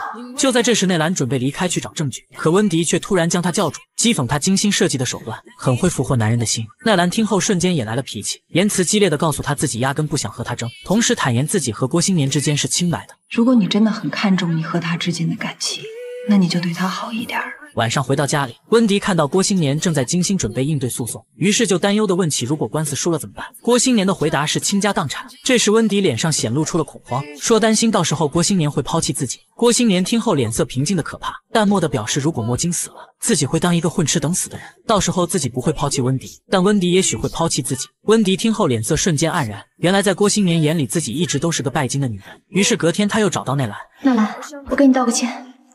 昨天我真的不该去，是我不识相。温迪痛苦的表示自己也不想这么做，只是现在他越来越放不下薄行年了，所以即使是官司打输了，自己也能陪着他过苦日子。奈兰很清楚温迪这是在对自己表忠心，于是询问他自己到底该怎么做才能让他放心。消失。女人仗着自己是总裁女友，竟强行干预公司的内政，殊不知他很快就要后悔了。郭新年看着股东大会被搅得乱七八糟，于是回家后立马就板着个脸。可温迪不但没有意识到事情的严重性，反而还一直不停的在挑拨他们股东之间的关系，认为在这个市值几个亿的公司里，没有一个人是真正懂得经营和管理的。言外之意就是让郭新年把这些股东全都踢出局。在你没来到魔晶之前，他们每个人都很无私，每个人都为魔晶奉献了很多。然而温迪仍旧不依不饶，表示郭新年作为第一大股东，在会议上不仅没有绝对的话语权，而且这帮人还不尊重他这个总裁女朋友。郭新年不愿意继续往下听，于是头也不回的转身离开。只不过让他万万没想到的是，温迪的野心远比他想象的还要可怕。隔天，温迪将其中两位股东约至天台开会，一上来他就开始教育起了两人。首先，他承认股东们都对公司做出过贡献，但这已经是过去的事情。为此，他还提到杨阳洋在会上对自己大吼大叫的行为，所以温迪认为股东的结构必须要做出调整。可高迪却表示，商量这么大的事，卢卡和杨阳洋也必须在场。他们两位是最小的股东，而且这是我和郭新年共同的看法。温迪，你只代表你自己。此话一出，温迪瞬间面露难色。然而他不但没有顾及郭新年的感受，反而还继续侃侃而谈，说是要把魔晶改造成外企那样，重新清算公司里的股权和债权。高迪和徐佳莹听后都面露不悦，纷纷表示他们不支持这样的提议。为此，温迪又把目光投向了郭新年，试图想要对方帮助自己说话。可郭新年深知温迪问题严重，所以一直沉默不语，没有表态。温迪被这一幕气得血压飙升，于是隔天又找到了内兰帮忙。他凭什么听我的呀？温迪无奈的苦笑一声后表示：“我跟他在一起的时候，他眼睛看的是我，心里想的是你。你真无聊。”这时，温迪又连忙拽住奈兰，因为现在只有奈兰能够帮助他在公司站稳脚跟。接着又表示，只要郭新年肯听自己的，他就把这些说闲话的人全都清算出去。奈兰批评温迪的控制欲太强，可温迪却说郭新年的心里只有奈兰。所以他想用实力证明自己并不比纳兰差。纳兰非常不满温迪把自己当成假想敌，于是就带他怒气冲冲的找到彭总，直言不讳的告状温迪现在不再适合留在洛菲斯工作。毕竟他现在既是魔晶的股东，又是投资公司的职员，这两头兼顾的吃相真的很难看。你没有权利逼我辞职，我有这个权利，我就是投资部的负责人。彭总心烦意乱的打断两人。周旋的说，他们三人这次都存在违规现象，但同时他又勒令温迪，如果这次魔晶脱离困境，那他就必须马上从洛菲斯辞职。温迪听后并没有当回事，殊不知他的报应很快就要来了。金城玩嗨后疲惫的躺在床上，可女模特却还在一旁疯狂甩头。因为房间内的音乐声音太大，于是金城随手就朝女模特扔去一个酒瓶，伴随着一阵尖锐的惨叫，女模特瞬间就没有了动静。起初金城并没有把这当回事，可谁料当他下床关闭音乐时，却差点被一双玉足绊倒在地。直到这时，金城才猛然间发现，女模特一动不动地躺在他的脚下，看着地板上不断渗出的鲜血，金城误以为女模特被自己给砸死了，于是惊慌失措下，急忙将她装进了冰箱，随后六神无主的立马给管家打去电话。虽然金城的衬衣上沾满了鲜血，但老董的反应却是极其的淡定，因为他就是金老爷特地在儿子身边安排的黑道管家，所以无论发生什么事情，都要帮金城摆平。我给放冰箱里了。虽然金城平日里坏事做尽，但从小就胆小的他毕竟没闹出过人命。于是当老董准备打开冰箱的时候，他又会被吓得连连惨叫，紧接着慌慌张张的蜷缩在一旁。然而万万没想到的是，当老董一点点打开冰箱后，却惊奇的发现里面的女模特竟然消失了，这让他瞬间意识到情况不妙。看来那个女模特并没有死。直到金城一点点梳理了这场诡异事件的全过程，两人这才发现房间里的保险柜被人打开了，里面放着的五十万现金全都消失不见。还丢什么了？行了，你别问了。而在老董的一再逼问下，金城无奈说出了还有几块硬盘，里面全是自己开派对时拍下的毁三观视频。然而这还不是最糟糕的，老爷给你那份东西呢？那份名单。随后，金城毫不在意的表示，即使女孩拿到名单了也无妨。可没想到老董听后勃然大怒，怒斥金城闯下大祸了。为此，他立马花钱弄到了酒店的监控视频，视频里显示女孩在半夜仓皇离开，同时还带走了他们的硬盘和名单。意识到事情的严重性后，老董第一时间就将情况汇报给了金振邦。他过来骂我一顿就开心了？这是屁大点事儿，这是屁大点事儿吗？于是老董郑重其事地告诉金城，名单上全是他父亲与官员勾结的记录，一旦曝光，他们整个家族随时都有可能完蛋。接着他通知金城千万别插手此事，所有的问题都由自己来处理。等把硬盘和名单找回来之后，立马办理退休。很快，金振邦闻讯匆匆从香港赶来，一见面他就大发雷霆，准备暴打金城。好在这时老董将他给拦了下来，并把所有的事情都揽到了自己头上。冷静下来后，金振邦痛心疾首地告诉儿子，名单上的大人物全是自己几十年经营下来的人脉，而之所以把他交给金城，为的就是自己哪天遭遇不测，金城能够将他拿出来自保。结果万万没想到，如今自己还没死。他竟然提前把名单给弄丢了，至此金城都没有意识到事情的严重性。但好在他有个宠他的老爹和一个靠谱的管家，结合整个意外的发生，金振邦猜测女模特应该是想敲诈一笔钱，可老董却认为还是要以静制动。虽然现在那个女模特的手机关机，但这样的女孩迟早会露面出来混，所以他希望金振邦能够将此事全权交给自己处理。我找了人。明天一早就到。自从小蝶和富二代共度春宵后，便趁机盗走了他保险柜里的五十万现金。然而这还没完，最致命的是他还带走了富二代的犯罪证据。于是当姐姐得知这件事后，便当即决定狠狠的再敲诈对方一笔。此时的姐姐还没意识到事情的严重性。另一边，管家老董联系到了一位在法国工作九年的顶级雇佣兵，并支付给了他一笔丰厚的报酬，同时提出要求，让他务必拿回丢失的硬盘和名单。到了双方约定的日子。小蝶由于害怕，于是便将这事交给了姐姐处理，而自己则是立马躲进隔壁的房间。刚开始，老董的想法是先礼后兵，可当他来到住所后，却并未发现小蝶的身影。这时，姐姐就解释说，这是将全权交给他负责，同时还狮子大开口的表示要让对方出两千万。老董听后瞬间愣住了，但为了稳住对方，他还是很爽快的答应了下来。而俗话说，贪心都没有好下场。老董下楼后，立马就给杀手使了个眼色。很快，杀手潜进房间解决掉了姐姐，但是把屋里通通搜了一遍后，却没有发现他们想要的名单和硬盘。临走时，他猛地冲向隔壁房间，虽然确定小蝶就在里面，可他还是淡定的选择了离开，理由是管家只付给了他一个人的钱。另一边，小蝶冲进房间，发现姐姐惨死在了家里，于是她立马跑出门，同时按下电梯。可在等待的过程中，她突然察觉到了危险，无奈小蝶只好选择从消防通道逃跑，却不料这一幕恰好被杀手撞见，为此杀手连忙追了上去。结果愣是没追上穿着高跟鞋的小蝶。与此同时，小蝶随便选了个楼层混进人群。话说当时管家已经提供了小蝶的照片，可杀手通过电梯反光扫视一圈后，愣是没有发现。就这样，小蝶在杀手的眼皮子底下成功逃脱。很快，老董就把这事汇报给了老爷金振邦。金振邦担心小蝶会把那份名单交给警察以求自保，可老董却自信的表示这件事完全可以用钱摆平。就如老董所料，小蝶不但没有选择报警，反而还重新返回住所，决定携款潜逃。然而，就当他准备离开的时候，自己的妈妈突然给他打来电话：“喂妈，你在哪了？我和你爸爸在前门吃烤鸭了。什么？你们这不行？原来老董事先还留了一手。他将二老骗到了北京，并谎称小蝶正在和他们家少爷谈恋爱。二老得知后笑得合不拢嘴，但此时的小蝶却已经坐不住。于是拼命开始解释，这一切都是他姐姐出的主意，希望老董能够放过他的爸妈。小蝶简直不敢相信，硬盘和名单居然对他们如此重要。于是他立马从床下翻出了这两件东西，紧接着开始查阅资料。结果查着查着，却无意间发现京城的公司正在和一个叫郭新年的公司打官司。想到被谋害的姐姐，又想到被绑架的父母，种种事件一时间让小蝶恨透了京城。于是他为了自保，又或者是报复，连夜将证据送到了魔晶公司，希望日后能够通过郭新年的手来扳倒京城。而做完这一切后，小蝶怀着忐忑不安的心情来见了老董。老董表面装出一副和蔼可亲的样子，但骨子里透出的杀气却让小蝶有些不寒而栗。没吃饭呢吧？啊！说完，老董将两盘剩菜端到他面前，同时还贴心的给他递上一副筷子。看着小蝶迟迟不肯动筷，他又会立马转变一副面孔吃。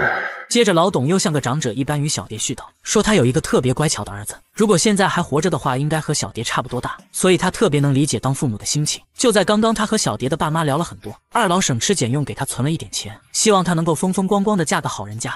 多好的父母！直到小蝶的心里快要崩溃时，老董这才翻脸一把摘下了他头上的帽子。姑娘，吃起来没完了，我让你带的东西呢？至此，小蝶都没说出证据的下落。于是隔天，老董便向金振邦汇报，表示他虽然控制了小蝶和他的父母，但是东西却已经被小蝶给藏起来了。金振邦认为儿子硬盘内的画面不堪入目，于是便想趁自己还在的时候好好整治他的私生活。为此，老董从夜场带走了京城的几个狐朋狗友，而京城不解老董用意，于是就跟了上去。老董把他们都带到了一个体育场馆，刚见面，金振邦就把两人好一顿训斥，甚至还恬不知耻地表示他们家京城是一个好孩子。随后，老董将这两个朋友带离了体育场。见状，京城忍无可忍地朝金振邦怒吼。两人本以为这么做就可以包庇金城的罪行，殊不知硬盘早已落入到了郭新年的手中。男人无意间发现自己的女朋友竟然在偷看不良录像。洋洋，你疯了！卢卡打开电脑后，这才发现视频里的男主角竟然是公司的死对头金城。于是他十分好奇地询问硬盘是哪来的。然而杨洋洋却表示他也不知道。面对视频里如此不堪的画面，卢卡第一时间想到的是把他交给警察。可杨洋洋却认为这么劲爆的内容，还是应该先交给老大郭新年过目。同样，郭新年在看完视频后惊讶不已，但同时也特别不解给他们送视频的人到底有什么目的。沉思片刻后，杨洋洋突然想到，他们正在和京城打官司。如果把这东西交给警察，那意味着他们的官司也就不用再打了。这种黑锅我们不能背。事情在弄清楚真相之前，别乱来。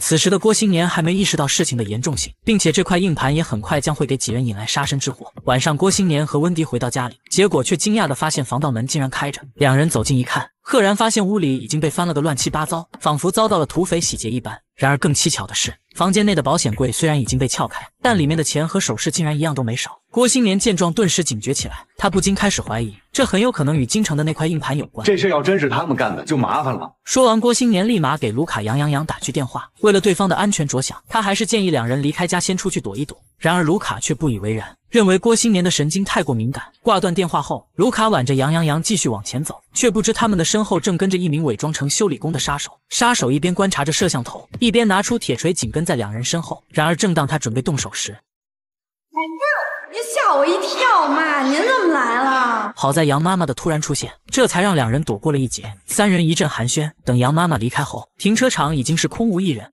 另一边，郭新年深知京城那帮人心狠手辣，于是立刻收拾东西准备搬家。他先是安排温迪去酒店暂住，而自己则匆匆赶回了公司。可当他走进办公室时，却发现里面同样也是一片狼藉，就和家里的场景一样，像是有人进来翻找过什么东西。但好在郭新年在一个隐蔽之处找到了事先藏好的那块硬盘。与此同时，老董找到京城的父亲金振邦，说硬盘已经被女模特交给了郭新年。可他派人去家和魔晶公司搜查，却都没发现。魔晶到底牵着这个事情多深？金振邦误以为这一切都是郭新年设的局，目的就是为了逼迫他撤销官司。随后，金振邦目光凶狠地命令老董先去魔晶公司探一探郭新年的口风。隔天，当郭新年看到老董后，瞬间就明白了昨晚所发生的一切都是对方所为。起初，老董还是一副很不和善的样子，可当得知郭新年已经看过硬盘里的视频后，立马又装出了一副低声下气的样子，请求郭新年能够把硬盘还给自己。见郭新年不为所动，他又语气不善地开始威胁。见状，郭新年立马展开反击，硬盘。我会报警交上去。无奈老董又只好搬出曾经混江湖的那一套，张口闭口全是人文道义和规矩。结果让他万万没想到的是，现在的年轻人压根就不吃这一套，甚至郭新年的眼神变得更加凶狠，毫不客气的就将老董赶出了门。眼看对方不遵循他所谓的规矩，金振邦也下定决心准备殊死一搏。男人研发出一款语音软件，结果却被人恶意起诉抄袭。现在郭新年想要破局，就只有一种办法，那就是找互联网巨头李奔腾出面。而正当李奔腾准备去和两人见面时，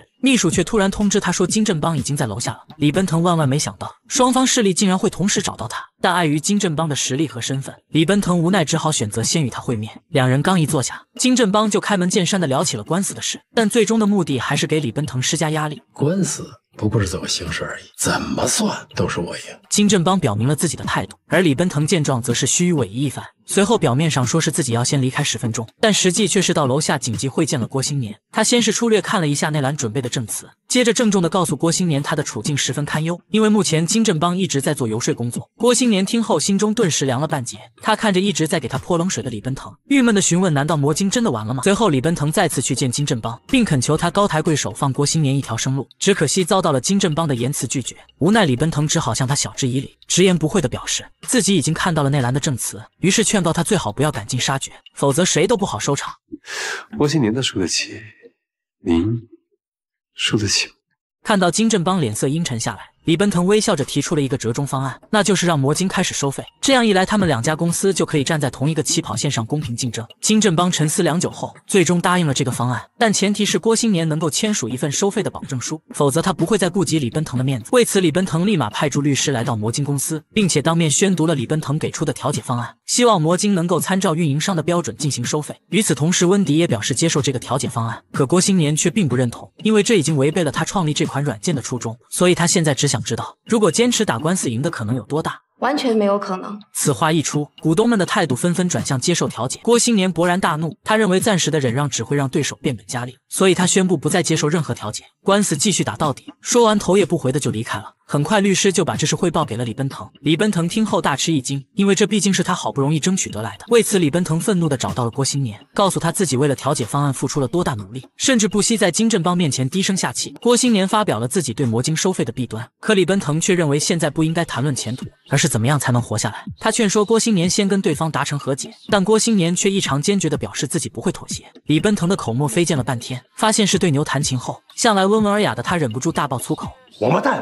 李奔腾走后，郭新年突然接到了一通神秘电话，而也就是这通电话，竟彻底改变了他接下来的命运。男人不惜倾家荡产，也要帮助自己的好兄弟创业。你再让我拿钱，我可没有了。杨洋洋埋怨卢卡只会讲义气，可一向言听计从的卢卡这次却犯了尿，坚信好兄弟这次一定能带自己创业成功。你救人家！此话一出，杨洋洋瞬间暴怒，毕竟他这么做也是为了这个家。我卢卡气急败坏后扒拉了一下杨洋洋，而泼辣的杨洋洋在争执的过程中，一不小心失手把卢卡的电脑摔在了地上。你摔谁电脑的？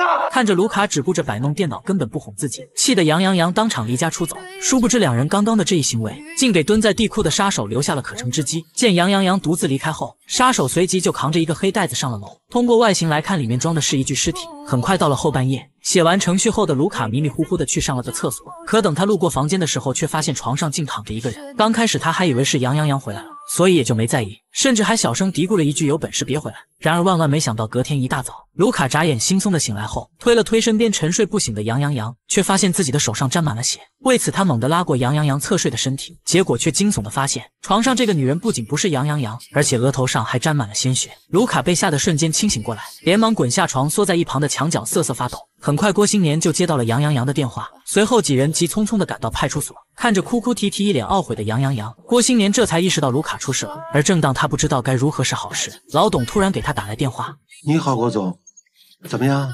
郭新年怒不可遏地质问老董为何要陷害卢卡，而老董先是装出一副无辜的样子，接着又给了郭新年一个地址，希望能和他见面好好谈一谈。很快，郭新年根据地址来到一处废弃仓库，刚一见面，他就指着老董的鼻子好一顿臭骂。见状，老董也不再隐瞒，直言卢卡的事情就是他做的。但如果想要摆平这件事，郭新年必须答应他两个条件：一是交出他们家少爷犯罪的硬盘，第二则是让他立马关闭公司。愤怒的郭新年抡圆了胳膊，朝着老董的脸上就是一拳。发泄完情绪后，郭新年开车扬长而去，随后再回到魔晶公司，专门为卢卡请了一位辩护律师，并且声称这就是明摆着的栽赃陷害。同时关心则乱的埋怨律师。按照规定，四十八小时后应该放人。随后，律师拿出照片，说警方指控卢卡用酒瓶砸伤了对方后脑，同时酒瓶上还有卢卡的指纹。现在出现的证据链非常完整，那就是卢卡当天晚上喝了酒，在与未婚妻发生过争吵后，很有可能是和受害者进行过不正当交易，随后由于某种原因失手打死了他。胡说八道！郭新年，郭新年的情绪完全失控，气得律师当场离开。没多久，郭新年冷静下来后，立马走到隔壁的房间安慰杨洋洋，表示对方提高了价码，要求他交出硬盘的同时还要关掉公司。我宁愿失去魔晶，也不会失去我兄弟的。此话一出，杨洋洋的内心既感动又后悔。感动的是郭新年为了兄弟放弃一切，而后悔的则是昨晚他拼命阻拦卢卡借郭新年钱。自从好兄弟被陷害入狱后，郭新年便下定决心卖掉公司。虽然股东们对他的决定十分不满，其中也包括了同为股东的女朋友温迪，但面对脾气火爆的郭新年，他们最终还是没敢出面阻拦。于是乎，三人就聚到了一起。在这期间，几人一直在唉声叹气。毕竟从魔晶创立到现在，除温迪以外，他们都付出了很多，更何况未来的前景不可限量。可如今就这么轻易的把他给卖掉。换做是谁都会有些不甘心。温迪比谁都不想卖掉魔晶，因为他也占了公司百分之五的股份。可奈何郭新年已经很久没回家了，所以他也实在是没有办法。就在这时，温迪突然想到了一个人，而这个人就是郭新年一直暗恋的奈兰。奈兰表示他也无计可施，因为他非常了解郭新年，不管外界对他有多大的压力，他都能扛得住。可唯独他身边的人出事了，这是他的死穴，他就是心软，做不到柳青夫人。而正当温迪还在争取时，却突然被彭总叫到了办公室，并交给了他一份收购意向合同书，内容是他们想要收购魔晶的所有股份。温迪看后当场急眼。认为彭总这是在落井下石，可彭总却反过头来批评温迪。温迪在投资公司和魔晶公司两头赚钱，但在面临危机时却拿不出一点意见。为此，彭总特地交给他一项任务，那就是让温迪陪着自己去见郭新年，并尽量劝说他在合同书上签字。温迪一时间陷入了两难，没办法，他也只好和彭总来到魔晶公司。而郭新年在看完意向书后，委婉的表示还要征求其他股东的意见。就在这时，彭总给温迪使了个眼色，嗯。彭总的意思是，毕竟你是大股东嘛，首先要得到你的支持，其他的事情才好办。郭新年看着股份被压到极低的价格，心中的愤慨无以复加。但相比较救出好兄弟，他已经无暇顾及这些细节了。于是毫不犹豫就在合同书上签了字。届时彭总看了眼温迪，脸上露出了如释重负的微笑。深夜，郭新年回家发现温迪还在等待自己。当即便猜到了对方一定是有话要说，果不其然，当他准备回房睡觉时，温迪立马就叫住了他。温迪抱怨他不该因为卢卡出事而变得如此消极。你不能为了你的兄弟情谊放弃我们大家的利益。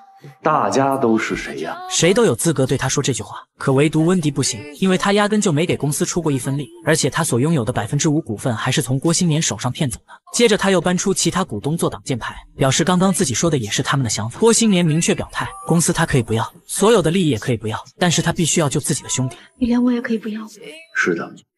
这些话已经憋在他心里很长时间了。郭新年表示自己真的很想和他好好生活，但努力过后却发现自己真的做不到，因为两人无论是对人还是对事，他们的想法永远不一样。而且你也没有兑现你的承诺，你不仅没有支持我，你还始终站在我的对立面。郭新年刚准备离开，温迪突然又将他叫住，随后脸色凝重地质问他是否想要分手。郭新年缓缓转过头，斩钉截铁地回答道：“是。”自此，郭新年也不再保留，坦言自己压根就不喜欢他。同时，他也很清楚温迪和自己在一起，很大一部分是因为钱。这个房子。还有那百分之五的股份，我送给你了。说完，郭新年绝情的转身离开，留下温迪一个人傻愣在原地。而随后，他独自来到了公司，看着办公桌上自己和卢卡的合影，郭新年的心里百感交集。公司即将面临破产，可他却还在办公室里打游戏，甚至当所有股东都在拼命打官司时，他竟还躺在沙发上呼呼睡大觉。郭新年认为，即使去了也没意义，因为竞争对手将他的好兄弟陷害入狱，同时提出条件让他必须输掉官司，所以即便是失去公司，他也必须要救出自己的好兄弟。你动点脑子。有一天，警察会查出卢卡是无罪的。他放出来的时候，罪也受了，魔晶也没了。他会恨你。郭新年心中一动，但脸色却还有一些犹豫。而内兰看到他的思想开始动摇，于是立马蹲下身来继续劝说。看着内兰真诚的大眼睛，心中瞬间又燃起了新的希望之光。而在另一边的庭审现场，运营商大放厥词的指控魔晶公司创立免费的语音软件属于侵占国有资产。见状，魔晶的辩护律师立马展开反击，双方各执其词，唇枪舌战。而正当两人争执不下时，郭新年突然推门而入，随后意气风发地辩驳了运营商的指控毫无根据。郭新年凭借犀利的辩词，很快就将对方逼得哑口无言。而第一阶段的庭审结束后，郭新年略带歉意地告诉杨洋洋：“不好意思，我恐怕要食言了。卢卡得救，魔晶我也得要。”杨洋洋表示理解。两人都以为这次的官司胜算很大，殊不知事情并没有他们想象的那么简单。很快，第二次的庭审开始。双方在法庭上二次交锋。可谁料，就当两方进入到白热化阶段时，魔晶的股东们突然收到一条突发短信，原来就在刚刚，魔晶的服务器突然断网。与此同时，三大运营商也接到了信息，但他们的嘴角却泛起了心照不宣的冷笑，因为这一切都是他们故意安排的。而得到消息后的郭新年紧急赶到公司，高迪正暴跳如雷的抱怨，运营商在没有任何通知的情况下突然暂停服务器。按照合同，他们有权利投诉，毕竟服务器每停半小时，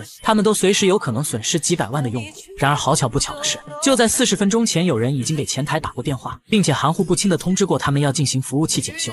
这就是无耻的偷袭！这时温迪认为打官司已经毫无意义了。现在唯一的办法就是与对方和解。如果郭新年同意的话，他愿意让投资公司出面做调解工作。没办法，郭新年也只好妥协。很快，温迪就把这事汇报给了彭总，而彭总得知后又找到奈兰，告诉他过几天公司会组织一个酒会，准备把仲裁委员会的人一起请过来，并且看看能不能从中和解。最后委托奈兰立马将这事转达给郭新年。另一边，魔晶的两位股东吵翻了天，高迪主张聘请律师状告运营商，可徐佳莹却极力反驳。郭新年不但没有出面，反而一言不发地回到了办公室。就在这时，奈内兰也刚好赶到，结果走近一看，却吃惊的发现郭新年竟然黑进了运营商的后台，这简直就是赤裸裸的犯罪行为！只许州官放火，不许百姓点灯啊！见状，纳兰立马拔掉电源，接着从包里拿出酒会的邀请函，并且嘱咐郭新年一定要到场，因为这将会是他最后的机会。很快到了酒会这天，一同来参加的还有金家父子。然而万万没想到，内兰接下来的一番话，竟直接让郭新年的脸色变得凝重起来。郭新年实在是想不明白，奈兰为什么要把他的竞争对手邀请过来。奈兰害怕郭新年会在活动上大打出手，而他担心的事情也很快就要发生了。刚开始，郭新年先是会见了大佬李根腾，希望他能够通过关系，多在仲裁委员会上帮自己说说好话。这帮人也是各怀鬼胎，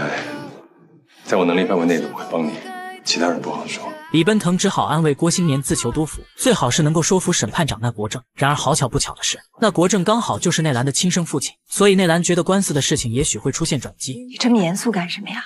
笑一下，要像胜利者一样面带微笑。说完，内兰就牵着郭新年的手前往贵宾室。与此同时，前女友温迪刚好撞见这一幕，看着两人亲密的画面，温迪的心里也终于明白为什么郭新年会抛弃自己。毕竟每次他出事的时候，奈兰都会无条件的陪在他的左右，而这次也一样。奈兰以朋友的身份将郭新年引荐给了父亲，结果万万没想到，两人刚寒暄几句，大反派金振邦突然就凑了过来。因为内兰曾经与他的儿子金城谈过恋爱，所以他就一直刻意的拿着两人的关系说事。见郭新年有些蠢蠢欲动，纳兰急忙出面打圆场，表明他已经和金城没有任何关系了。可谁料金振邦依旧不依不饶，完全不顾及父女俩在外人面前的感受。接着他又说，年轻人做事不过脑子，作为长辈就该给他们点教训。而他说了这么多，无不都在暗示郭新年。见状，郭新年也毫不客气的回怼道：“我很好奇，现在已经不是旧社会了，您怎么就能娶几房姨太太呢？”没人管啊！此话一出，现场的气氛瞬间变得紧张起来。但好在有那国政在场，金振邦只好接着身体不适的缘由准备离开。但在临走前，他还是劝告郭新年，年轻人一定要好自为之。随后，内兰责怪郭新年不应该得罪金振邦，毕竟今天组这个局的目的是想让两人和解。可郭新年不以为然，非要选择与他硬刚到底。然而很不巧的是，他的计划很快就被温迪给搅乱了。温迪主动找到金振邦的犬子金城攀谈，并讽刺他只会在背地里搞小动作。怎料金城却装出事不关己的样子，继续打台球。可温迪却笑着警告他说：“以郭新年暴躁的性格，如果输掉官司，那后半生必定会咬着他不放。”金城听后顿时就没了兴致，丢下球杆，悻悻地离开台球室。然而温迪却并不打算放弃，他依旧不依不饶地黏着金城，甚至还利用郭新年和内兰的关系来挖苦他。我警告你啊，我不打你。别逼我！与此同时，那国政也看出了郭新年和内兰的关系不一般，于是便询问起了对方的基本情况。而郭新年也没有保留，表示自己有存款没房子。而正当郭新年将话题转移到官司时，门口却突然传来了温迪的尖叫声：“想干嘛？干嘛？想干嘛？骂谁呢？骂他呢？”前女友被人羞辱，总裁得知后替他霸气出头。虽然郭新年被人强行拉出了会场，但这个人渣富二代的报应很快就要来了。见好闺蜜被人欺负，奈兰气愤地走上前，怒斥金城不要脸。而原本天不怕地不怕的金城，却唯独拿奈兰没有一点办法。紧接着，内兰转头开始安慰失魂落魄的温迪，随后又把他带到了休息室，劝他有什么委屈尽情发泄出来。我们分手了，我把它还给你。纳兰连忙否认，可温迪却冷笑着让他别隐瞒，因为他其实早就发现了郭新年每天晚上都会听着内兰的声音入睡。纳兰劝他能够冷静一点，并解释那一段语音是他们网恋时期的录音，而不是他故意给郭新年打电话的。你到现在还不承认你喜欢郭新年？温迪表示他刚刚亲眼看到奈兰主动牵着郭新年的手，两人十分腻歪的走进了贵宾室，而他脸上的那份得意是永远也无法掩盖的。温迪指责奈兰毁了自己的幸福，可奈兰听后却并没有生气，反而还十分体贴的给他递去了纸巾。另一边，被京城陷害入狱的卢卡。突然从看守所里被放了出来。得知这一消息后的郭新年激动不已，毕竟他曾经为了拯救兄弟，差点放弃了整个公司。于是他亲自跑到酒店门口迎接兄弟俩，一见面就紧紧的抱在了一起。一阵嘘寒问暖过后，郭新年好奇的询问卢卡是如何洗脱罪证的。庄小蝶，这个伤是四十八小时之前的，是个旧伤，所以作案时间。跟我哪对不上？而且庄小蝶的伤也不是酒瓶子造成的，所以作案凶器也跟他对不上。最重要的是，通过楼道的监控显示，当天夜里有人背着庄小蝶上了楼，两人都很清楚这一切的罪魁祸首都是金城。而正当他们准备离开时，卢卡突然就看到了不远处的金城，为此满身怨气的他猛地站起身，然后怒气冲冲的飞上前，将拳头狠狠地挥在了金城的脸上。两人倒地后，金城抱着脸发出激烈的惨叫，可卢卡就像发了疯似的继续痛击他。就在这时，反应过来的老董及时将两人拉开。打我！老董找死了！而正当老董与卢卡纠缠时，一个服务生突然从人群冲出来，并以迅雷不及掩耳之势，将一把餐刀狠狠地扎进了金城的胸口。郭新年和卢卡都傻眼了，原来这个服务生是庄小蝶的男朋友，而他之所以这么做，就是为了给女朋友报仇。很快，所有犯事人员都被带进了派出所。没一会，两人办好了相关手续。就在这时，杨洋洋匆匆赶到，他替郭新年回家取了一个硬盘，里面存放着京城的犯罪证据。而郭新年接过硬盘后，立马又把它转交给了警察。另一边，因为餐刀没有刺中要害，所以金城暂且保住了性命。经过这么一闹，老董便劝告金振邦关闭公司，同时撤销与郭新年的官司。毕竟现在已经牵扯出了人命。可金振邦却不愿服输。然而让金振邦怎么都不会想到的是，郭新年很快就对他们展开了反击。一个身价上亿的公司总裁，却整天泡在娱乐城里打游戏。纳兰实在是搞不明白，曾经这个意气风发的郭新年，如今为何会变得如此自暴自弃？纳兰一把关闭了游戏机，同时指责郭新年的行为太过幼稚。可郭新年却认为官司反正赢不了，与其等着公司慢慢倒闭，倒不如提早出来享受生活。纳兰十分不满郭新年的态度，头也不回的就转身离开了。这时郭新年突然意识到了不对，于是立马起身追了上去。他一把拉住纳兰，生气了？我当然生气了。他表示，如果连郭新年自己都放弃了，那真的没有人能够帮他了。纳兰的话犹如一根续命针，瞬间又让郭新年燃起了新的希望之光。而在内兰的监督和指导下，郭新年又重新写了一份官司辩护词，但仔细思考了一番，却又认为这么做根本就改变不了什么。我坚信。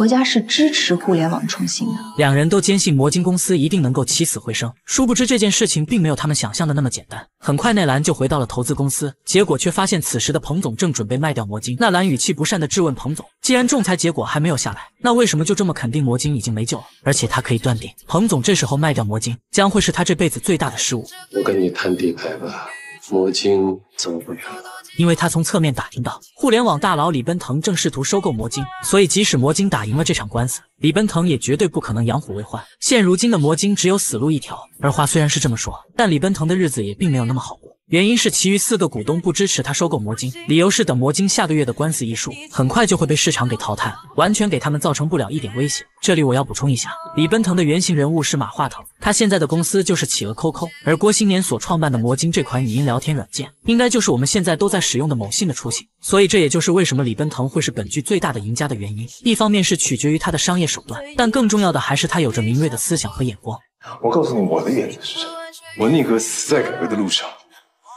我也不会在过去的光辉里面睡觉。李奔腾认为，与其和起死回生的魔晶拼个你死我活，倒不如趁现在对方面临官司的时候将他低价收购。说了这么多，李奔腾希望股东们能够表个态，可众股东面面相觑后，给出的回答竟是年纪大了不想再折腾，同时还希望李奔腾能够和他们一起去澳洲享受生活。说完，众股东找借口纷纷离开了办公室。李奔腾对几人的态度十分不满，而正当他还在思考如何处理魔晶时，一个天才软件师突然就出现在了他的视野中。罗伟请求对方给自己五分钟时间，因为他。手里有一个价值千亿的项目，而李奔腾本想花五分钟看个笑话，殊不知罗维接下来的表现竟彻底改写了他的命运。很快，罗维便开始组装早已准备好的图表支架。短短几秒钟时间，一张语音软件的项目计划图就出现在了李奔腾眼前。相信上面的这款软件大家都不陌生，因为它就是我们现在都在使用的某信。可在当时那个聊天软件盛行的年代，剧中李奔腾的原型人物马化腾又是如何选择的呢？刚上来，罗维就阐述了自己的观点。首先，他认为郭新年的魔晶必死无疑，原因是只有语音聊天功能太过于单一，所以他设计的这款软件会增添许多功能。第一，他想通过李奔腾麒麟公司的技术，尽快完成对语音图像的基础建设。其次，基于智能手机的私信材料，我开发出一款叫“摇一摇”的功能。这个功能可以快速的让我们知道周边有多少人在跟我使用同样的软件。这一点罗维的思想确实超前。而第三个功能是他这款软件的核心，那就是除语音聊天以外，再新增添一个网络电话的功能。而第四步就厉害了。他想让李奔腾导入麒麟软件，也就是当时企鹅 QQ 的用户资源。为此，等这款软件成熟以后，他会立马开发一个电子商务功能，并且设立一个独立的付款系统。李奔腾脸上的表情瞬间阴晴不定，毕竟电子商务在当时是卧云生的天下，而卧云生的原型人物正是马云。你知道你在干什么？我在给卧云生挖坟。李奔腾的表情耐人寻味，或许这也是他此刻内心真正的想法。但毕竟这不是儿戏，因为罗维设计这款软件，首先会得罪郭新年的魔晶，然后逼死社交类的软件，再逼死三大运营商，逼死了聊天室和论坛。你还要把卧云生给埋了？罗维很清楚自己刚刚的一番话彻底打动了李奔腾，为此他便自信的表示这是一次历史性机遇。如果李奔腾怕死，那他保证自己永远也不会来打扰。果不其然，李奔腾一改往日儒雅的常态，凶神恶煞般的警告罗维。你的命是老天爷的，但剩下的一切全是我的。好，你要什么我都给你。但是如果我发现你的脚尖上沾了一点别人家的土，我会让你后悔为什么要认识我。两人似乎达成了某种协议，但事实远比我们想象的还要复杂。因为在这之前，罗维也曾找到过沃云生，希望沃云生能够给他的项目投钱。只不过这两次有所不同，那就是罗维向沃云生隐瞒了开发电子商务的事。好巧不巧，沃云生对聊天软件不感兴趣，于是也就婉拒了罗维。所以后来罗维又去找了李奔腾，可他不知道的是，沃云生和李奔腾私下里是好友。我不相信罗维给我的是唯一的一份，他没给你吗？李奔腾也只是一笔带过，因为罗维在卫生间里的演讲的的确确让他产生了私心。毕竟电子商务才是当时最赚钱的项目。没过多久，罗维再次找到李奔腾。之前我给您的那个网络电话的事情，您还没有给我反馈呢。李奔腾埋怨罗维找过沃云生，并且还向他隐瞒了开发电子商务的事。而罗维也是一个聪明人，他很清楚李奔腾这是在装清高。毕竟像他们这种级别的商业大佬，没有一个人的创业手段是绝对干净的。随后镜头拉远，两人说了一些悄悄话。结果等镜头拉近时，李奔腾却突然下定了决心：我要看详细的资料。见财神爷亲自上门，罗维一时间震惊无比。于是他手足无措地将李奔腾请进地下室。本以为对方是来寻求合作的，殊不知事情并非他想象的那么简单。因为李奔腾一上来就把含有演讲资料的 U 盘还给了罗维。你总是觉得我的软件做的不够好吗？这只是个山寨软件，麒麟企业不应该参与。而李奔腾刚准备离开，罗维却突然将他叫住，并提出想和他单独谈一谈。见状，秘书和小弟识趣的走出门。在这期间，秘书还偷偷给小弟塞了张名片。而在地下室里，罗维十分坚定的认为李奔腾一定是存在难言之隐，不然以他这样的身份，不至于为了还一个破 U 盘还亲自跑一趟。我再问您一遍啊，您真的觉得我这款软件做的不好吗？李奔腾没再反驳，只是说罗维在生活上有困难可以随时找他，甚至临走时还不忘和他击个掌。而也就是这一掌，竟彻底改变了两人接下来的命运。走出地下室后，李奔腾特别严肃地提醒秘书：他什么时候打电话给你，你第一时间把电话转给我。嗯，不用问他什么事儿，也不用管人几点。好。既然这样，那他刚刚为什么要拒绝罗维呢？原来李奔腾想要开发新软件的想法遭到了公司其余四位股东的强烈反对，所以他再一次将四人召集在一起，并且慷慨激昂地发表了一番创业言论，表示移动互联网的战争日新月异，如果再不做出改变，他们的麒麟公司随时都有可能被淘汰。然而，即使他说了这么多，众股东仍旧是不愿接受，理由是他们年纪大了，不想再折腾。而也就是在这一刻，李奔腾心里已经做好了另起炉灶的准备，同时这也意味着他随时都有可能被踢出董事会。但对于追求梦想的他来说，却已经不重要了。为此，李奔腾第一时间就派人将罗维请到公司。首先，他一上来就没收了罗维的手机，并且要求他不得与外界取得联系。你现在唯一要做的，就是把那天在洗手间给我看的软件开发器给执行出来。同时还给他在乡下秘密准备了一套大别墅，命令他在十五天之内完成软件的基础框架。可罗维却认为半个月的时间根本就不够，因为他把软件做出来，再给李奔腾交由董事会审批，也至少需要一个月。我刚刚有说到董事会吗？这时罗维突然反应过来，原来李奔腾的难言之隐是没有得到董事会的支持。那你就是在玩火。李奔腾压根就不在乎，因为他们接下来的操作很有可能会创造历史。见状，罗维也没再怀疑，毫无保留的决定与他一起背水一战。很快，秘书就将罗维带到了一处秘密基地，并指了指破旧的仓库，表示这就是李奔腾安排给他搞研发的位置。而让罗维更意外的是，他的小弟竟然已经被送到了这里。这么看来，李奔腾早就布局好了一切。罗维并没有太在意，毕竟一开始谁都会有新鲜感。你怎么那么高兴？这不比咱们那个地下室空气好呀？然而理想很丰满，但现实总是那么的残酷。在接下来的日子里，两人每天就只能吃馒头配泡面，就连一旁的小弟都替他打抱不平，欲言又止的询问他：难道就这么认了吗？这时罗维开始说起了气话，表示他们这是在创业，吃点苦难道不应该吗？我是怕人家没把咱们当回事儿。此话一出，罗维的心里不禁产生怀疑：难道自己真的是李奔腾宏伟蓝图中的一枚棋子？而在接下来的日子里，在这个与世隔绝的地方待了半个月的两兄弟，一点点陷入了沉思。找钥匙车，咱们可一点机会都没有。而正当这对难兄难弟迷茫之时，一束亮光突然就出现在了他们眼前。李奔腾趁着夜深人静，秘密约见了罗伟，接着开门见山的让他为这款软件取一个名字。那就叫腾讯吧。通过李奔腾刚刚的表现，说明他已经彻底接纳了罗维。于是他又急迫的让罗维组一个班子，让他找一批实力强劲的软件工程师，他可以支付工程师高额工资以及超乎他们想象的研发费用，但前提条件是必须签保密协议，统一管理，不得与外界联系。罗维能够理解李奔腾的做法，就是有一点他特别好奇，那就是李奔腾真的愿意冒着破产的风险与他这个无名小卒背水一战吗？现在我跟你要做的是一统天下。而也就是在这一刻，两人命运的齿轮开始转动。程序员不好好工作，却整天把自己关在房间里打桩，而女朋友只是上前关心一下，他竟一把将其甩到了一旁。好在这时郭新年及时出马，这才强行将他控制了一下，同时语气暴躁的询问他到底想干嘛。我不想干了。然而卢卡不知道的是。其实郭新年心中也憋着一股气，于是恼羞成怒的大喊着让他滚。我他妈也不想干了。此话一出，卢卡更加委屈了，但他却极力克制着自己的情绪，抱怨自己被竞争对手陷害入狱，不明白受了这么多罪到底是为了什么。而且眼看着公司即将被人搞垮，可他们却连个还手的机会都没有。眼看卢卡的情绪愈发激动，杨洋洋连忙上前打起了圆场，随后准备强行将卢卡带离此地。郭新年也委屈啊，因为作为总裁的他承受的比谁都要多。于是事后股东高迪把几人召集在一起，同时宣布了一项纪律，那就是从现在开始，不管谁有多大的怨气和情绪，都不允许再冲郭新年发脾气。他压力太大了。这时徐佳莹还要补充一条，那就是不管官司是否能够打赢，他们也必须要坦然面对，因为竞争对手金振邦远比他们想象的还要可怕。而正当卢卡还在满嘴吐槽时，金振邦专门约见了郭新年，为此管家还特意到门口迎接，并主动伸出了手想要握手，可郭新年却视而不见，径直走过。见面后，金振邦直接指明了郭新年的处境很糟糕，因为他正面临着三大运营商的联名起诉。仲裁的结果不是还没出来吗？小子，你很清楚你输了。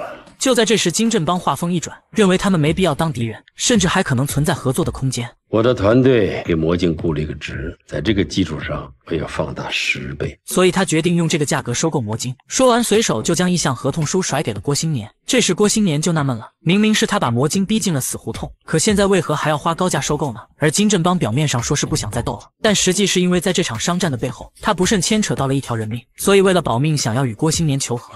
我就算要卖。也不会卖给你这种。没办法，金振邦只好用梁山招安的故事来劝说。总结一句，就是郭新年这只小蚂蚁是永远也斗不过他这头大象的。为此，他希望郭新年有什么条件尽管提出来。却不料郭新年猛地坐起身，咄咄逼人的追问他卢卡被陷害的事情该怎么算。我会给他足够的赔偿。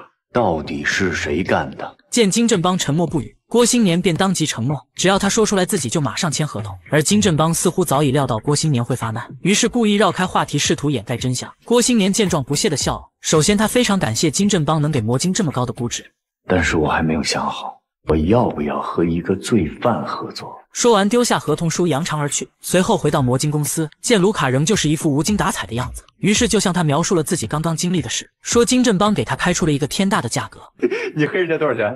我让他把害你的人交出来。卢卡听后瞬间沉默了。这一刻的他感到既后悔又愧疚。后悔的是他不应该对着郭新年发牢骚，而愧疚则是因为郭新年宁愿放弃整个公司，也要帮助他洗清冤屈。自此，卢卡终于燃起了新的希望之光。隔天，魔晶公司参与第二次官司大战，众股东便劝说郭新年千万要冷静，即使他心里有再大的委屈，但也要为所有股东的利益着想，并且接受对方的调解方案。听着众人七嘴八舌的劝说，郭新年脸色凝重，始终一言不发。很快，在审判长那国正的主持下，关于运营商控告魔晶案的最后一次庭审开始。刚上来，运营商就故技重施，指控魔晶这款语音软件侵占国有资产，同时还利用破坏通信行业平衡而大肆做文章。被申请人，请你做最后陈述。郭新年迫于压力，当面承认自己之前说了一些过激的话，甚至一反常态的走上前，弯腰鞠躬向三大运营商致歉。而郭新年的突然屈服，瞬间就引起了台下一片哗然。随后，双方进入调解环节。然而让郭新年万万没想到的是，运营商这次压根就没给他留活路，交出魔晶，由运营商控股。总之就是让魔晶在运营商的监管下运行发展。道理很简单，自从魔晶这款免费的语音软件上架后，对三大运营商的短信和通讯业务冲击巨大，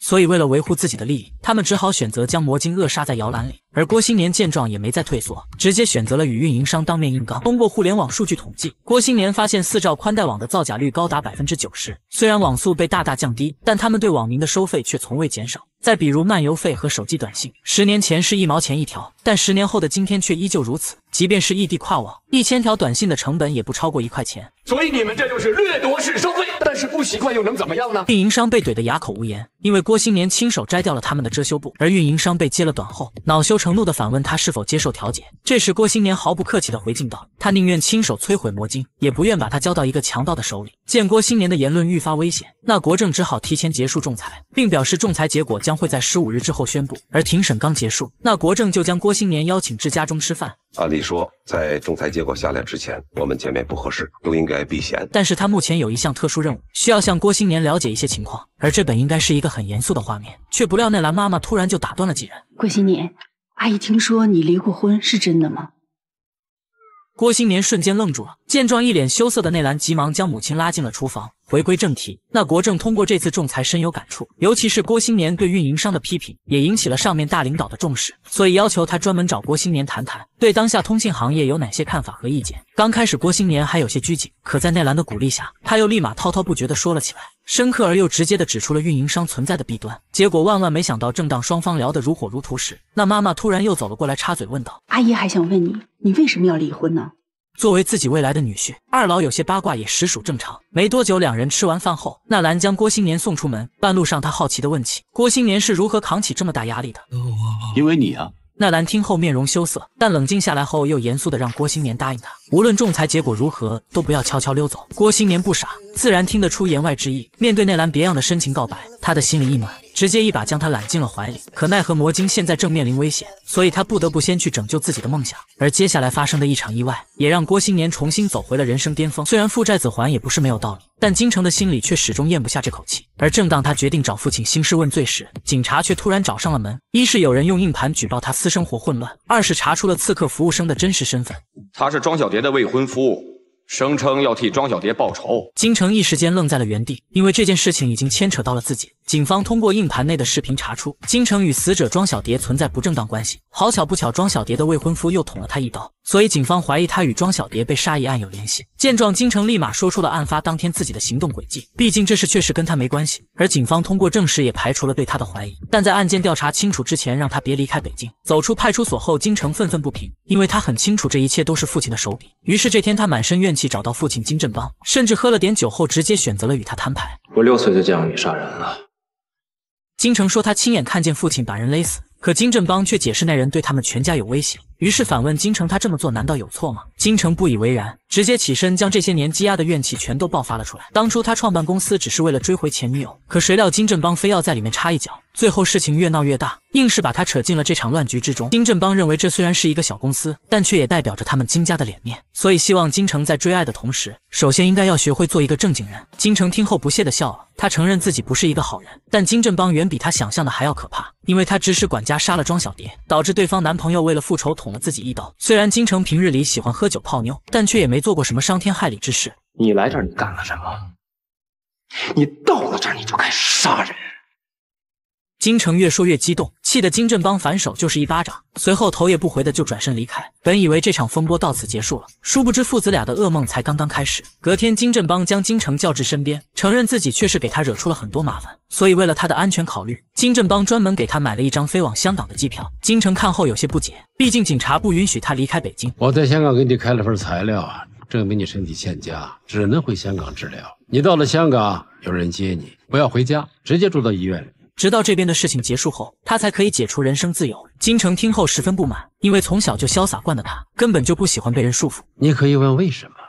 为什么？为什么？为什么呀？理由是警方随时都可能调查自己，所以希望金城能够帮他保住家业。纳兰带着自己的审判长父亲来到魔晶公司，结果一进门就听见郭新年响亮的打呼声。见状，纳兰连忙将他叫醒。郭新年一脸懵逼，于是睡眼朦胧的询问他：大半夜的跑来公司做什么？我爸来了，他要跟你开个紧急会议。此话一出，郭新年整个人瞬间清醒过来。毕竟那国政现在是他唯一的救星。看到那国政，卢卡也被吓得一个机灵站了起来。随后几人来到会议室，可那国政接下来的做法却让人有些摸不着头脑。首先，他让郭新年通知所有员工，明天早上五点准时到公司集合，不仅要穿上正装，而且还必须带上身份证。接着他又说自己草拟了一个汇报提纲，让郭新年务必在天亮之前背书。同时，他还会和内兰留下来，抓紧把公司的卫生搞一搞。郭新年和卢卡听后面面相觑，好奇地询问起那国政究竟出了什么事。那国政犹豫了，虽然这涉及到组织纪律，但他还是和郭新年透露了一点。我们讨论了科技创新，部长指示，明天中央首长就这个问题要进行专门的调研，第一站就是来魔晶公司。郭新年精神一振，难以置信的和卢卡对视了一眼。而随后，当那国政去楼下检查安保问题时，卢卡更是激动地表示魔晶终于有救了，同时还打趣地调侃郭新年：“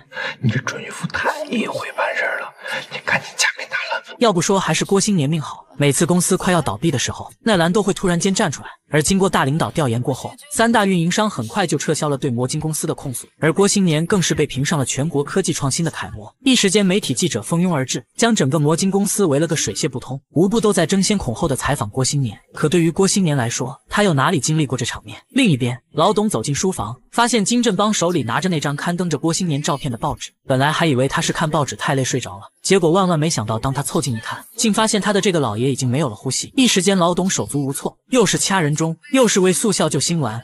耶耶！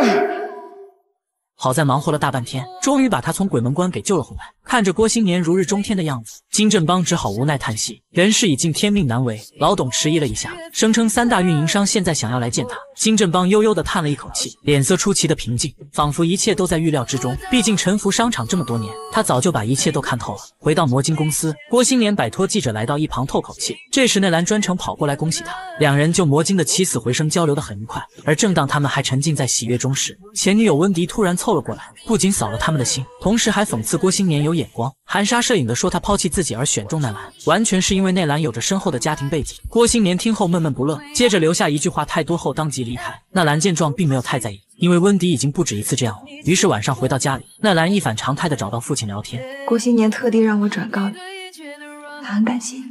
那国政表示，他这么做不是因为郭新年，而是出于正义和维护科技创新。同时还让内兰转告郭新年，只要他坚持正确的方向，领导们是一定会支持他的。此时所有人都认为斗倒一个金振邦，郭新年就已经是万事太平了。殊不知接下来迎接他的将会是更大的挑战。原因是魔晶这款软件的胜利已经威胁到了互联网大佬李奔腾的地位，所以他绝对是不会坐视不管。可郭新年却不以为然，甚至还希望暴风雨来得更猛烈一些。殊不知他很快就要后悔了。这天，郭新年像往常一样应付媒体采访。就在这时，李奔腾突然出现。虽然两人曾经一直是很要好的盟友，但奈兰的话却也时刻提醒着郭新年。为此，他一上来就开始拍马屁，感谢李奔腾在他最危难的时候出手相助，这让他实在是不知道该如何报答。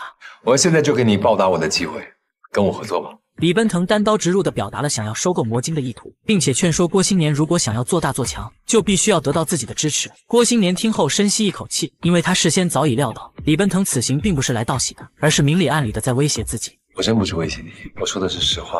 郭新年笑了，他把李奔腾形容成鳄鱼，再把自己比作是泥鳅。试想一下，这两者合作结果会是怎样呢？郭新年双手合十祈求李奔腾，希望他能够放自己一马。可李奔腾却一语双关的表示，鳄鱼的耐心也是有限的。然而郭新年仍旧是不以为然。其实李奔腾的心里很清楚，郭新年是永远不会屈服于任何人的，所以他事先早已做好了应对准备，那就是在乡下安排了一个秘密基地，并且让罗维开发一款比魔晶还牛的软件。而罗维这边也给他秘密招揽了一批国内顶尖的软件工程师。说到保密，罗维还是忍不住的想知道，难道李奔腾真的没办法动用麒麟公司的一点资源和人脉吗？我有可能要被迫放弃麒麟。放弃国内最顶尖的互联网公司，来和罗维这个穷小子从头开始，可想而知，他们想要研发的这款软件是多么的重要。所以对于你来说，到底是生意更重要，还是兄弟更重要？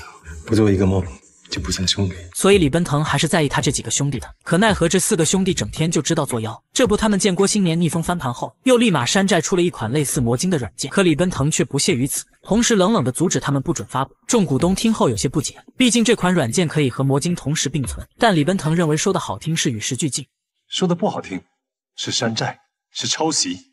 是贼。股东听后大为愤怒，因为他们这也是在给李奔腾赚钱。可李奔腾却表示这不是钱的事，而是他不屑于与任何一款软件并存。他想做一款独一无二的软件。一经推出，第二天世界彻底安静的那种。李奔腾还是说服不了众股东，而众人也被李奔腾的固执激怒的陆续拂袖而去。这么看来，这帮兄弟已经彻底没救了。为此，李奔腾抛弃幻想。直接加速了罗维那边的研发计划。穷小伙来找前女友复合，可前女友却压根不想搭理他。罗维向温迪承诺，三个月内一定发大财，因为此时的他正在秘密研发一款世界级软件。温迪听后不以为然，毕竟罗维要是有这本事，当初自己也不会选择与他分手。而此时的温迪本想花三个月时间看个笑话，殊不知罗维接下来的操作竟彻底闪瞎了他的眼。离开温迪家后，罗维秘密招揽了一批全国最顶尖的软件工程师，并且将他们带到了一个极其偏僻的秘密基地。可对于这些优秀的社会精英来说，在如此恶劣的环境下办公，无异于是对他们最大的侮辱。罗维承认环境是差了点，但他给出的工资却翻了好几倍，何况也就三个月时间。众人见状也就没再多说什么。结果万万没想到的是，罗维转头又要没收所有人的手机。这条离谱的规定彻底触碰到了他们的底线。工程师们七嘴八舌的抱怨，眼看场面即将失控，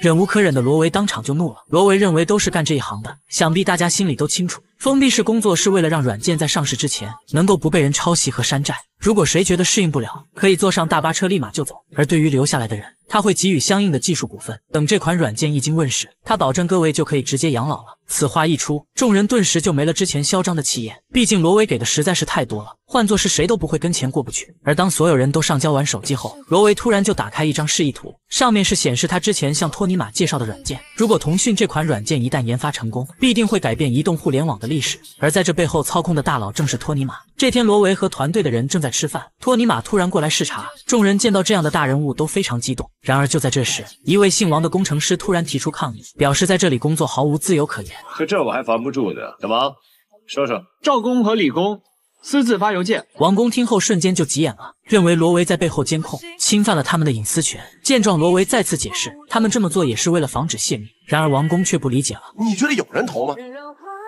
我呀！此话一出，众工程师愕然。而在托尼玛的插科打诨之下，大家这才解除了对罗维的误会。随后几人来到郊外散步，托尼玛让大家对这款软件各抒己见。这时王工率先发言，他认为腾讯的功能复杂，不仅有聊天功能，同时还存在朋友圈买票转账等等一系列功能，这就相当于一个大杂烩，是永远也不可能成功的。然而托尼玛却表示，能否成功应该交由市场判定，在做出来之前，谁也不知道答案。托尼玛的演讲得到了所有人的认可。而在临走之前，他又给罗维拿了五十万现金，因为他觉得这里不仅缺人，而且还缺高手，同时还让罗维认准目标，勇往直前。出了什么事有他在后面兜着，所以这就是李奔腾和罗维的办事风格。而正当腾讯的研发进行到如火如荼时，另一边如日中天的郭新年却遇到了大麻烦，因为他发现，在手机软件的商城里，有一款叫密聊的软件横空出世，甚至还超越魔晶，霸占了排行榜第一。郭新年始终没想明白，于是隔天他来到投资公司，结果无意间撞见了密聊的创始人龙少雄。密聊的核心功能是抄可龙少雄却不以为耻，甚至连彭总都站在一旁帮腔。郭新年总算是看明白了，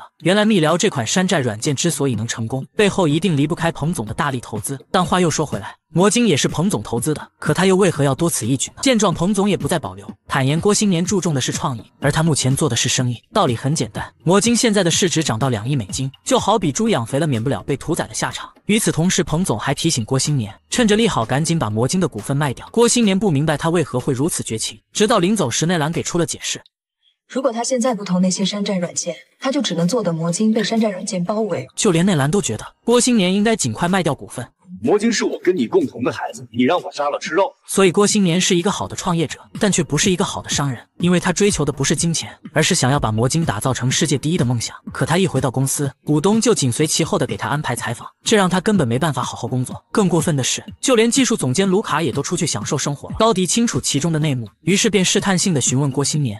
温迪找你谈了吗？谈什么？原来四位股东在分析完形势后，正在悄悄密谋如何卖掉魔晶。然而郭新年却并未当回事，甚至还陪着卢卡到婚纱店看杨洋杨氏婚纱。按理来说，小股东请个婚假很正常，可郭新年却认为目前形势紧张，于是让卢卡尽快开发出网络电话的功能。卢卡表面答应，但郭新年却察觉出他有些心不在焉。刚开始还以为他是因为结婚紧张，可谁料卢卡瞄了眼杨洋洋后，和高迪一样试探性的询问郭新年：“温迪跟你谈过吗？”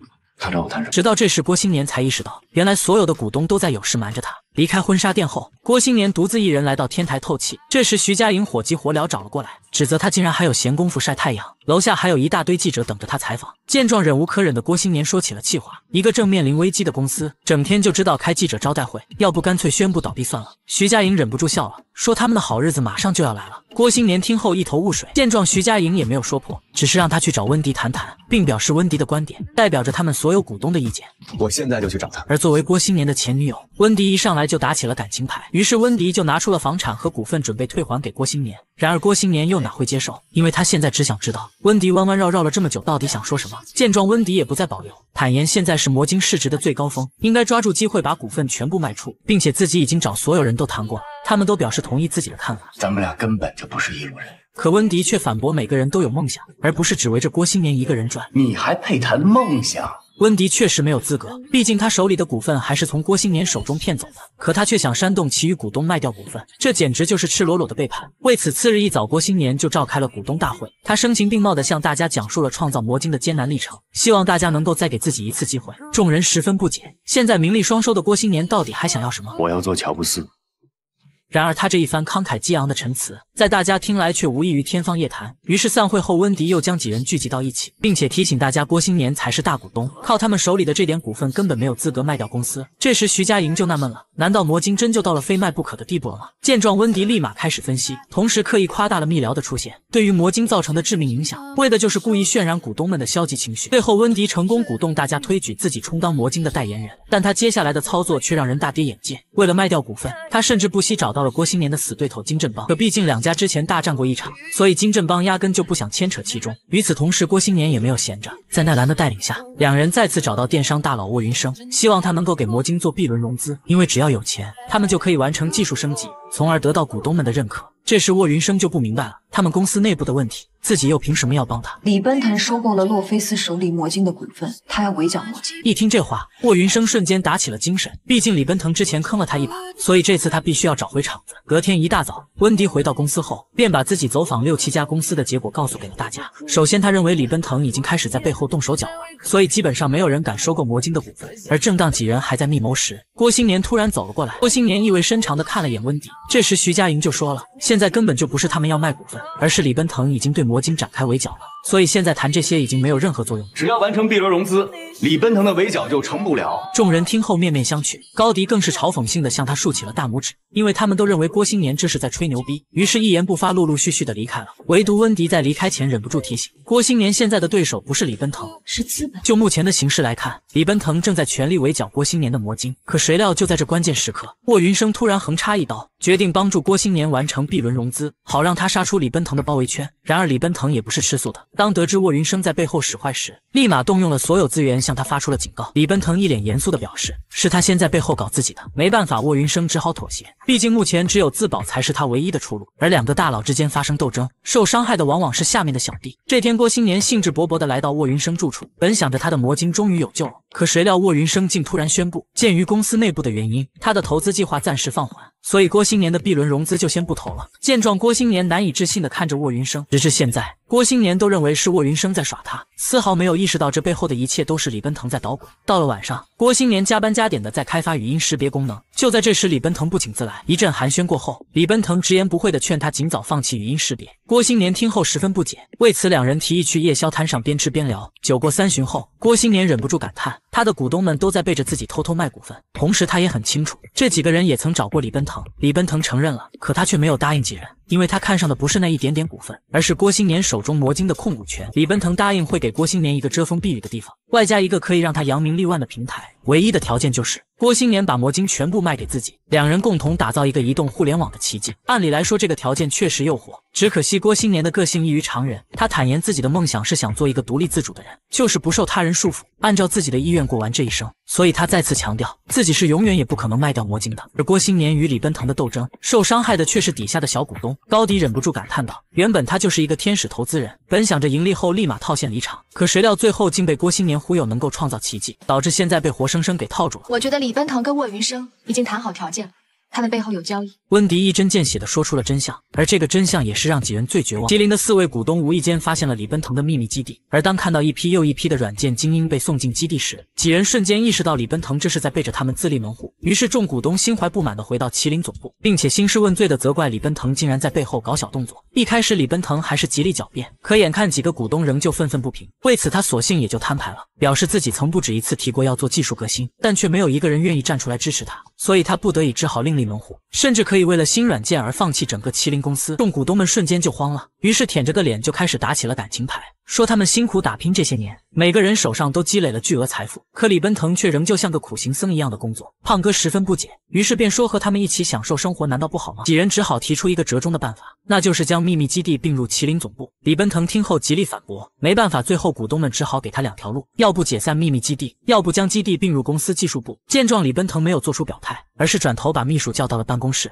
给我们定层。四个股东不敢赶走李奔腾，而李奔腾也不想抛弃他的这四个兄弟，所以只好选择使用拖延战术。虽然双方整整交谈了一宿，可奈何最后谁也没有说服谁。次日一早醒来，李奔腾看着这几人，心中感慨万千。于是到了晚上，提议一起吃一顿火锅，同时一起回忆当年创业时的辛酸，希望通过忆苦思甜的方式，重新激起这几人年轻时的斗志。可谁料喝着喝着，几人不但没有好好反思，反而再次提起了李奔腾另起炉灶的事，吐槽他一边抛弃他们这几个兄弟，一边又说这么做都是为了麒麟。即使李奔腾有很多种方式将他们踢出局，毕竟这几人存在很严重的腐败问题，但想到之前一起创业的艰难历程，他最终还是选择了一种种公平的方式，那就是将公司所有高管都聚集在一起，并且单刀直入的告诉大家，他和四个股东在经营理念上发生严重分歧，并且已经到了无法调和的境地，所以希望他们能够通过匿名投票的方式决定他们双方之间去留的问题。而事情都说开以后，接下来就是拉票环节。首先，李奔腾阐述了自己开发新软件的初衷，所以真挚的希望各位高管能够赞成自己的做法。同样，四股东也表达了自己的看法，认为李奔腾这么做存在着很大的风险。但总之，最后还是看众人的意见。很快，秘书就把高管们带到一旁的会议室，可高管们面面相觑，实在是不知道该怎么选。不过一想到李奔腾才是麒麟的灵魂人物，想必各位的心中都已经有答案了。很快，投票结果出来后，四位股东面带笑容的走出办公室。或许他们早就知道了结局会是这样，但唯一没有想到的是，等他们走到楼下后，李奔腾突然发来一条短信，内容是让几人在澳洲给他留一套别墅。这五个人仅用一年时间，竟从身无分文的穷光蛋摇身一变成了亿万富豪。而当摄影师按下快门键的那一刻，也寓意着几人之间很快将会一拍两散。合影结束之后，郭新年特地将几个股东聚在一起，这是他第一次这么大方的请几人吃饭，但同时也是最后一次。一上来，郭新年就直奔主题，他知道股东们最近都在背着他偷偷卖股份，虽然心里很不痛快，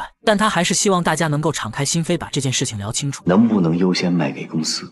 卖给公司也就意味着郭新年个人出钱，只不过他还是把事情想得太简单了，因为这四个人的股份加在一起，一共八千八百万美金。按照目前魔晶公司的发展情况，估计郭新年连个零头也都拿不出来，所以这也就是几人为什么要将股份卖给外人的原因。郭新年双手合十，再次祈求大家能够多给他一点时间。可徐佳莹却表示这不是时间问题，而是认识问题。毕竟魔晶真的已经走投无路了，所以他们不希望手里的股份到时候变成一堆废纸。郭新年沉默了，因为他知道自己根本就筹不到那么多钱，同时他也很清楚股东们这么做也只是想要维护自己的利益。郭新年表示理解，但唯一让他心寒的却是前女友温迪。想当初郭新年送给他百分之五的股份，可如今他竟然也变着法的想要将股份卖掉。而当现女友内兰得知后，当即就不乐意了。杨洋洋这种创始股东也要把股份卖掉。说完，温迪就拿出一份联名授权书，声称是他们委托自己卖掉魔晶的股份。然而内兰却嘲弄的说，即使这样，也并不能证明温迪是清白的。毕竟当初股东团结一心，但温迪一去就闹得鸡飞狗跳。于是内兰怒斥他这是背后捅刀忘恩负义，可温迪却反过来指责内兰就是嫉妒自己。最后，温迪准备离开办公室，他告诉内兰自己不是要跟他争论什么，而是想让他劝劝郭新年不要那么固执。很快，内兰来到魔晶公司，他看着一脸颓废的郭新年，劝说魔晶已经到了山穷水尽的地步，规劝劝他还是放手。接着又向他透露，温迪拿着其他股东的授权书到处卖股份。郭新年满脸的不甘心，他猛地一下站起身，希望那兰卢卡和自己三人紧密团结，说不定还会有柳暗花明的那一天。先把温迪手里那百分之五的股份买回来。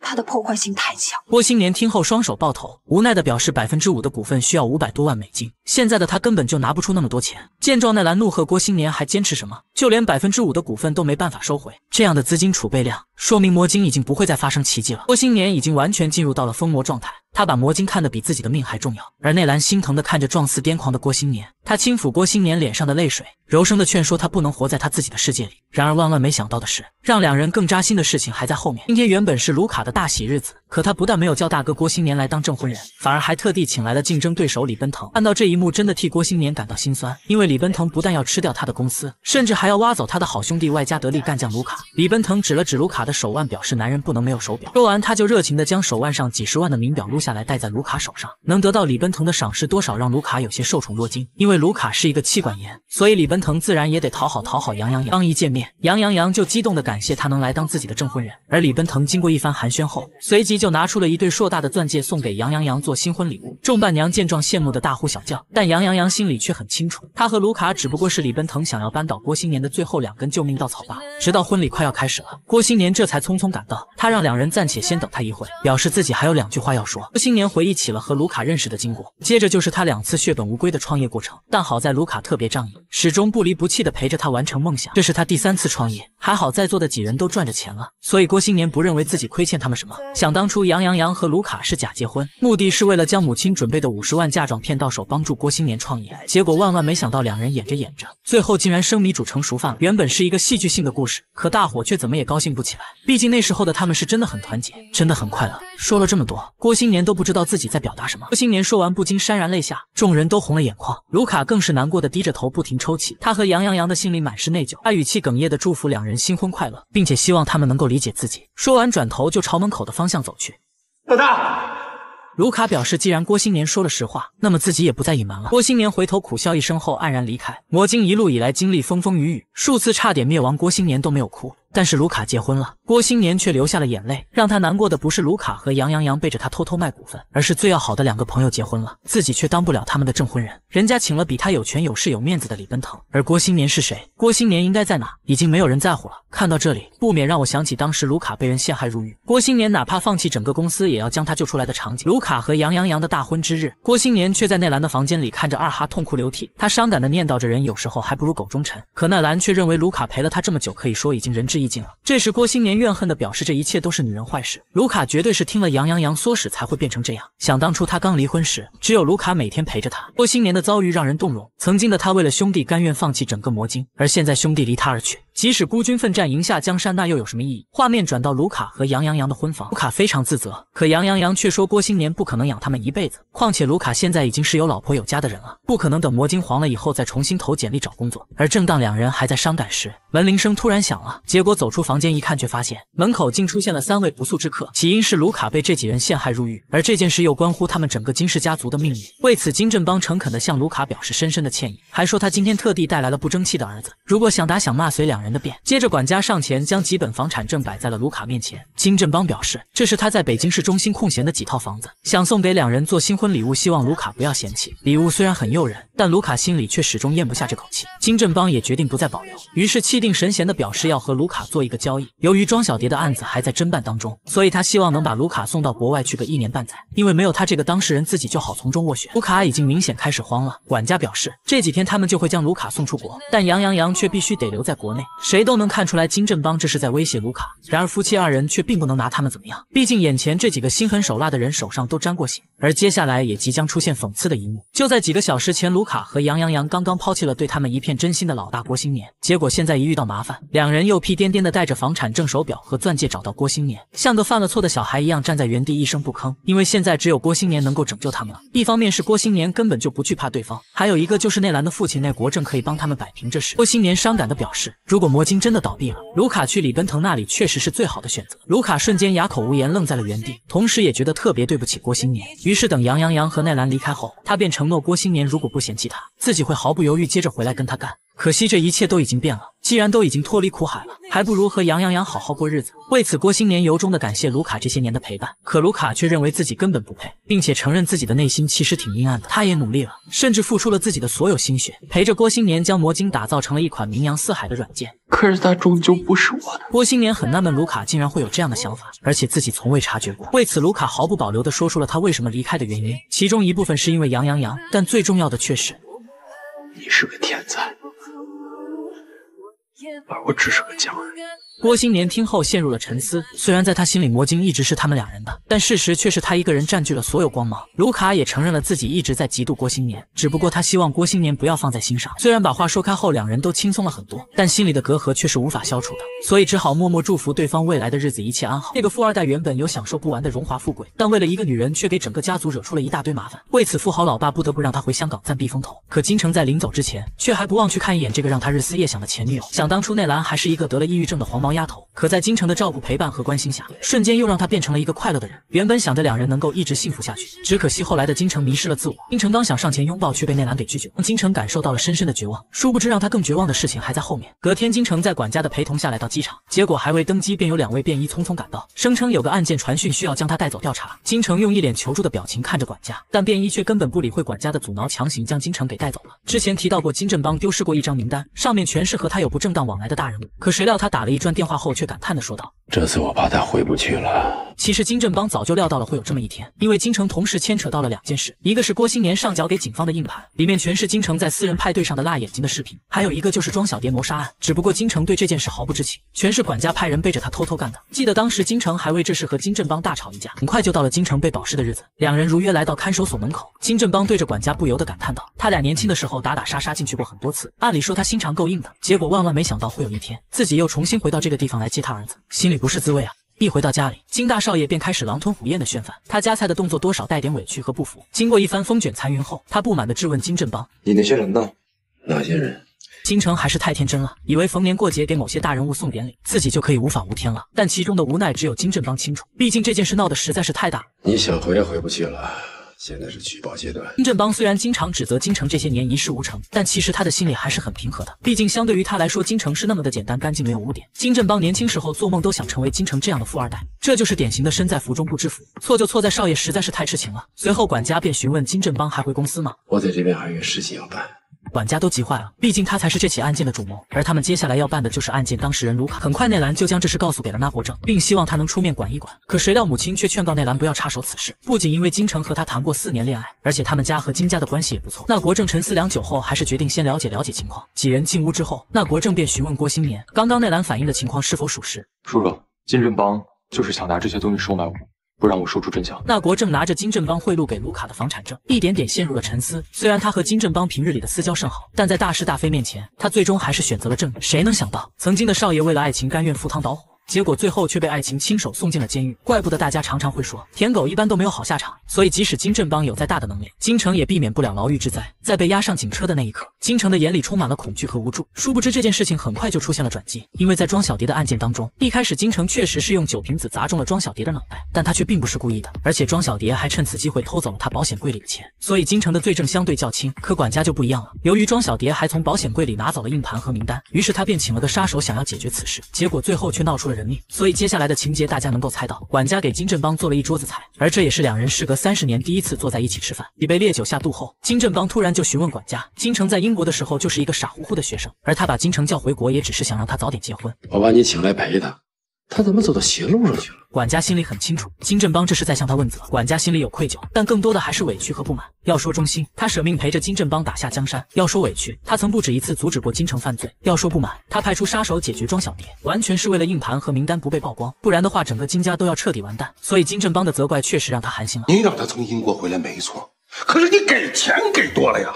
可金振邦却认为这点小钱不算多，毕竟那时候金城在和内兰谈恋爱，管家的意思很明确，金城走上歪路并不是自己没看住，而是金振邦实在是太宠溺他了，给钱给多导致他变坏了。为此，管家毫不保留地表示，当时庄小蝶的事情出现后，金振邦不仅没有拦着金城，而且也没有拦着他。自从上次金振邦以他的名义给寺庙捐钱，管家就知道了自己迟早会有这么一天，所以接下来他要做的就是自首，并且顶下金城的所有罪责。但由于管家知道金家的很多秘密，为此金振邦故意威胁他说：“你嫌弃加拿大人，你放心。”我一定会把他后半辈子生活安排好。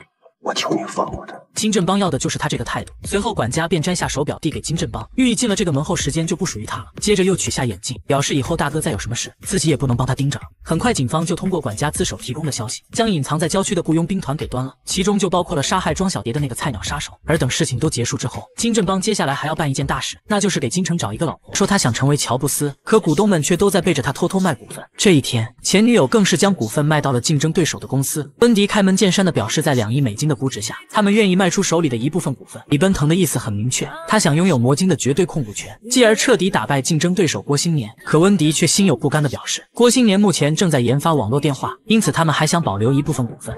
而且我们对郭新年还有信心，希望他可以再创造奇迹。温迪实在是太天真了，他甚至还提醒李奔腾说，魔晶已经不是原来的魔晶了。除了网络电话，郭新年还在研究新的升级方案，这将直接影响到魔晶的估值。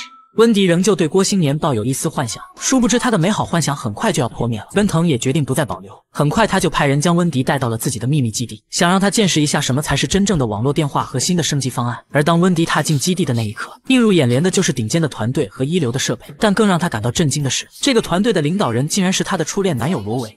你怎么来了？李总让我来的。接着，温迪便追问罗维是否在研发新产品。罗维听后强压内心的激动，用手指了指墙上的设计图给他看。温迪露出了一脸不可置信的表情，因为设计图上显示，魔晶只不过是个基础框架，而在这基础之上，他们还增添了群功能、朋友圈和电子商务等一系列常人无法想象的新创意。一开始，温迪还抱有怀疑态度，为此，罗维便示意小弟将他们研发的新软件展示给温迪看。果然，温迪越看越惊讶，因为里面不仅包含了郭新年正在研发的网络电话，而且连设计图上展示的朋友圈、附近的人和摇一摇等功能都已经彻底成型了，这在当时可谓是相当炸裂。温迪瞬间明白了，原来李奔腾自始至终都在套路郭新年。你不是在山寨魔晶吗？罗维笑了，他承认魔晶的语音传输确实是他们腾讯的一个重要组成部分，但它也只是其中极小的一部分。李奔腾想让这个软件什么时候上市？等你们魔晶死了之后。罗维开了个玩笑，事实是等腾讯的支付功能测试完成后立马就上市，因为他们压根就没打算跟魔晶竞争，毕竟这两款软件根本就不是一个维度的产品。温迪闻言也不得不承认这个事实，穷了一辈子的罗维此刻终于站起来了。于是他便带温迪参观了自己的房间。温迪无意间发现墙上竟然有一张自己和罗维当初的合影，这是他们第一次吃饭的时候拍的。罗维试图把记忆拉回当年，但温迪却推脱说自己不记得这张照片了。为了缓解尴尬，罗维只好询问温迪对腾讯这款软件的评价。那么记仇啊？记仇是因为他和温迪刚分手一天，郭新年就立马和温迪好上了。只不过两人最后还是分手了。为此，罗维声音低沉的说道：“我想着。”等我把这件事情做成了，我就回去找你的。可是真的做起来了，却发现这事情总是越做越多。他现在每天就睡四五个小时，为的就是早点把事情干完，好早点把温迪接回来。好好吃饭吧，注意自己的胃。听到温迪突然关心自己，罗维瞬间鼓起勇气。温迪。我们结婚吧。温迪先是微微一惊，随后斟酌着询问罗维：“知道自己为什么要跟郭新年在一起吗？”因为郭新年从来不会把他和事业放在一起，即使最后自己还是被抛弃了。但如果不去想这是一个命运开的玩笑，他还是过得挺幸福的。不是你人生的奖品。我是我自己。温迪扯这些都是虚的。目前当务之急就是带着三位股东把股份卖给李奔腾，因为腾讯一旦上市，那他们可就一分钱也捞不着了。与此同时，郭新年脸色黯然的回到魔晶公司，见卢卡还在一门心思的研究网络电话，郭新年心里无比自责，毕竟都到这个地步了，自己还拉着卢卡浪费时间。他们去找李奔腾签约了。就在刚刚，温迪偷偷带着其余几位股东登门拜访李奔腾，作为几人的股权代表，他委婉的表示还想继续支持郭新年，自己保留一点股份，不想全部售出。李奔腾见几人还没死心。于是二话不说就给秘书打电话，命令他把两个月前技术部做的一款软件拿上来。随后李奔腾便向几人展示了他的升级版麒麟。虽然升级的内容完全是抄袭郭新年的，但依靠他们麒麟现有的两亿七千万用户，这款软件一经发布，必将迅速占领整个互联网市场。那你们为什么不发布？这个技术是山寨魔晶的，所以李奔腾一心想要收购魔晶，好让自己的软件能够名正言顺的发布。然而他的等待也是有期限的。李奔腾半软半硬的威胁几人，必须一次性把所有股份都卖给他。如果今天不能谈妥，那么明天他就会将这款软件发布，先把魔晶彻底打垮再说。这也太狠。这么看来，几位股东也没那么绝情。明知道魔晶已经离死不远了，却还想着给郭新年留一点股份。但俗话说，姜还是老的辣。李奔腾看出了几人的迟疑，于是便开始玩弄花招。首先，他偷偷拨通了前台的电话，接着再装出一副毫不在乎的样子。而站在前台的秘书收到暗号后，立马又跑到办公室，随便编个理由支走李奔腾。这样一来，就给了几位股东充分讨论的时间。怎么办啊？毕竟这可是几千万乃至上亿的合同，所以谁都不敢在这半天时间内拿定主意。这时几人把目光都投向了比较有话语权的高迪。只见高迪缓缓站起身，思考一番后，率先做出表态：知道什么时候退，比知道什么时候进更重要。高迪的态度得到了所有人的认可。殊不知几人刚刚的谈话通过座机，全被站在前台的李奔腾听了的一清二楚。可他却并没有着急进去收割，道理很简单，因为饭煮熟之后一般都要焖半个小时，而这也就是李奔腾惯用的套路。等时机完全成熟了，李奔腾这才不紧不慢地走进办公室。哎，我都没喝。最后，他再利用查满送客的规矩完美收官。我们愿意把所有的股份转让给你。这时的李奔腾俨然摆出了一副胜利者姿态。所以说，在商业竞争当中，郭新年的失败是必然的。一是他背后没有强大的资本，二是他没有李奔腾这个老狐狸的商业手段。待几人都签完合同之后，李奔腾也没必要再保留。他微笑着拿出一个 U 盘，让温迪帮忙转交给郭新年，而 U 盘里的内容也彻底成了压死郭新年的最后一根稻草。魔晶公司里，郭新年看着李奔腾秘密研发的通讯软件，久久不能释怀。他没想到自己正在辛苦研发的网络电话，李奔腾竟然已经将它做成产品。很快，卢卡就将 U 盘里的通讯软件下载到了手机里。可谁料郭新年刚注册完成，李奔腾就打来了视频电话，这真可谓是杀人诛心啊！通话质量怎么样？很好，送给你。李奔腾得意表示可以把网络电话的程序送给郭新年，让他植入魔晶后，两人再重新打一仗。电话挂断后，郭新年的情绪彻底崩溃了。他怎么也不会想到自己耗费所有心血创造的魔晶，最后竟成了别人的垫脚石。这一次他输得很彻底，情绪激动的郭新年在办公室里一通乱砸。他告诉卢卡，网络电话的项目结束了，以后就不用再来公司了。老大，走。卢卡走后，温迪见郭新年情绪低落，于是便劝说自己可以替他出面找李奔腾谈判，尽可能把他手里的股份卖个好价格。滚蛋！滚！魔晶的故事结束了，但郭新年的新生活才刚刚开始。没有理想的束缚，他终于可以和内兰好好谈恋爱了。由于金振邦患有严重的心脏病，但他却不放心将亿万家产移交给不争气的儿子。于是等金城被保释出狱后，金振邦便立马授意律师拟了一份合同，并要求金城在上面签字。我签的这是什么呀？这是一份转让协议，内容是让金城放弃名下所有财产，并把财产转移到设在布宜诺斯艾利斯的家族基金。我凭什么交出去啊？直到这时，金城还在愤愤不平，气得金振邦直接站起来怒斥他。自己一心想培养他成为接班人，可他却为了一个女人拿整个家族的命运开玩笑。金城已经彻底没救了。为此，金振邦不得不找一个靠得住的人。只是没想到，这个人竟然会是和他仅仅交谈过几次的温迪。刚开始，金振邦还算比较委婉，只是说他有一份工作想要推荐给温迪。我的家族在布宜诺斯艾利斯有一支基金，让这支基金参与投资做慈善和炒汇，所以他需要对投资行业很精通的人。为此，他第一期打算跟温迪签约三年，在这三年内，他对基金的运营是全权的，没有人干涉。而如果三年之后温迪不愿意续约的话，那他可以带走自己应得的部分。表面上，温迪推脱着说自己缺乏管理经验，但实际上却是对洛菲斯还存有幻想。殊不知他的这点小心思还是被金振邦给看穿了。金振邦毫无客气地表示，即便奈兰现在辞职，以温迪的家世背景以及自身条件，也永远不可能顶替他的位置。温迪沉默了，他知道金振邦说的是实情。除此之外，我有个额外的要求。做我的儿媳妇，他竟然说金城对温迪一直存有好感，这到底是什么样的狗血炸裂剧情？难道上次金城的蛮横行为是想向温迪表达什么叫打是情骂是爱吗？除此之外，金振邦还表示自己调查过温迪的背景，说她是一个头脑清楚、思路敏捷的女人，而且还没有要结婚的打算，甚至没有固定的男友。接着再说说温迪的感情，首先她和初恋男友罗维已经没有复合的可能性了，其次就是前男友郭新年，金振邦对他再了解不过了。郭新年这人太固执，认为温迪现在也应该已经死心了。没办法，因为这涉及到家族的传承。所以他不得不调查清楚。金振邦认为，虽然这个提议听上去很荒诞，但其实是有一点诱惑力的。因为每个人都在被自己熟悉的圈子限制，生活很难向我们提供一次历险，或者是不同的生命状态。我觉得很疯狂。谁料金振邦却劝他不要把事情想得太复杂，道理很简单。这几年他会将金城带在身边，好好管束。等哪天自己身体真的不行了，温迪作为妻子再把财权交给金城。到那个时候，温迪愿意离婚就离，不愿离就不离。温迪瞠目结舌，他还是不太能相信这是个事实。为此，金振邦特地给他吃了颗定心丸。两人结婚后，温迪将会分到金城名下一半的财产。这时双方可以各请一位律师拟好合同，金振邦会把答应他的费用提前支付到第三方银行。一旦温迪完成诺言，有你的律师提供文书。把这笔钱支付给你，怎么样？你说一向爱财的温迪会心动吗？答案是肯定的。只不过他在进入童话故事之前，还是决定先回到现实，去见一见初恋男友罗维和他那个念念不忘的前男友郭新年。想当初他就是因为一份合同才和罗维分手的。记得那天夜里，温迪趁罗维熟睡的时候，偷偷拿走了他包里保险柜的钥匙。可当他打开保险柜后，却发现里面竟然藏着两份退股协议书。于是他便悄悄躲进卫生间，借着光亮仔细研读合同里的内容。结果看着看着，温迪突然睁大了眼睛。等我有了钱。我要做的第一件事情是把你那一百五十万还给你。一百五十万是温迪入股狐油的原始股份，谁料几天后，罗维的狐油公司突然就倒闭了。为此，两人大吵一架。气急之下，温迪就将合同的事情说了出来。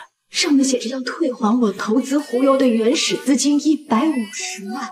温迪当时都崩溃了，毕竟这一百五十万是他抵押房子的钱。罗维握住温迪的胳膊，让他相信自己。最后两人愈吵愈烈，闹了个不欢而散。但在离开前，罗维还是让他在退股协议上签了字，随后又将一张一百五十万的银行卡交给了温迪。温迪接过卡后，头也不回的就离开了。现在温迪终于获得了嫁给有钱人的机会，结果心里又突然想起了初恋罗维。他有三个问题想问罗维：一是如果当时忽悠成功了，罗维还会不会把那份合同拿出来？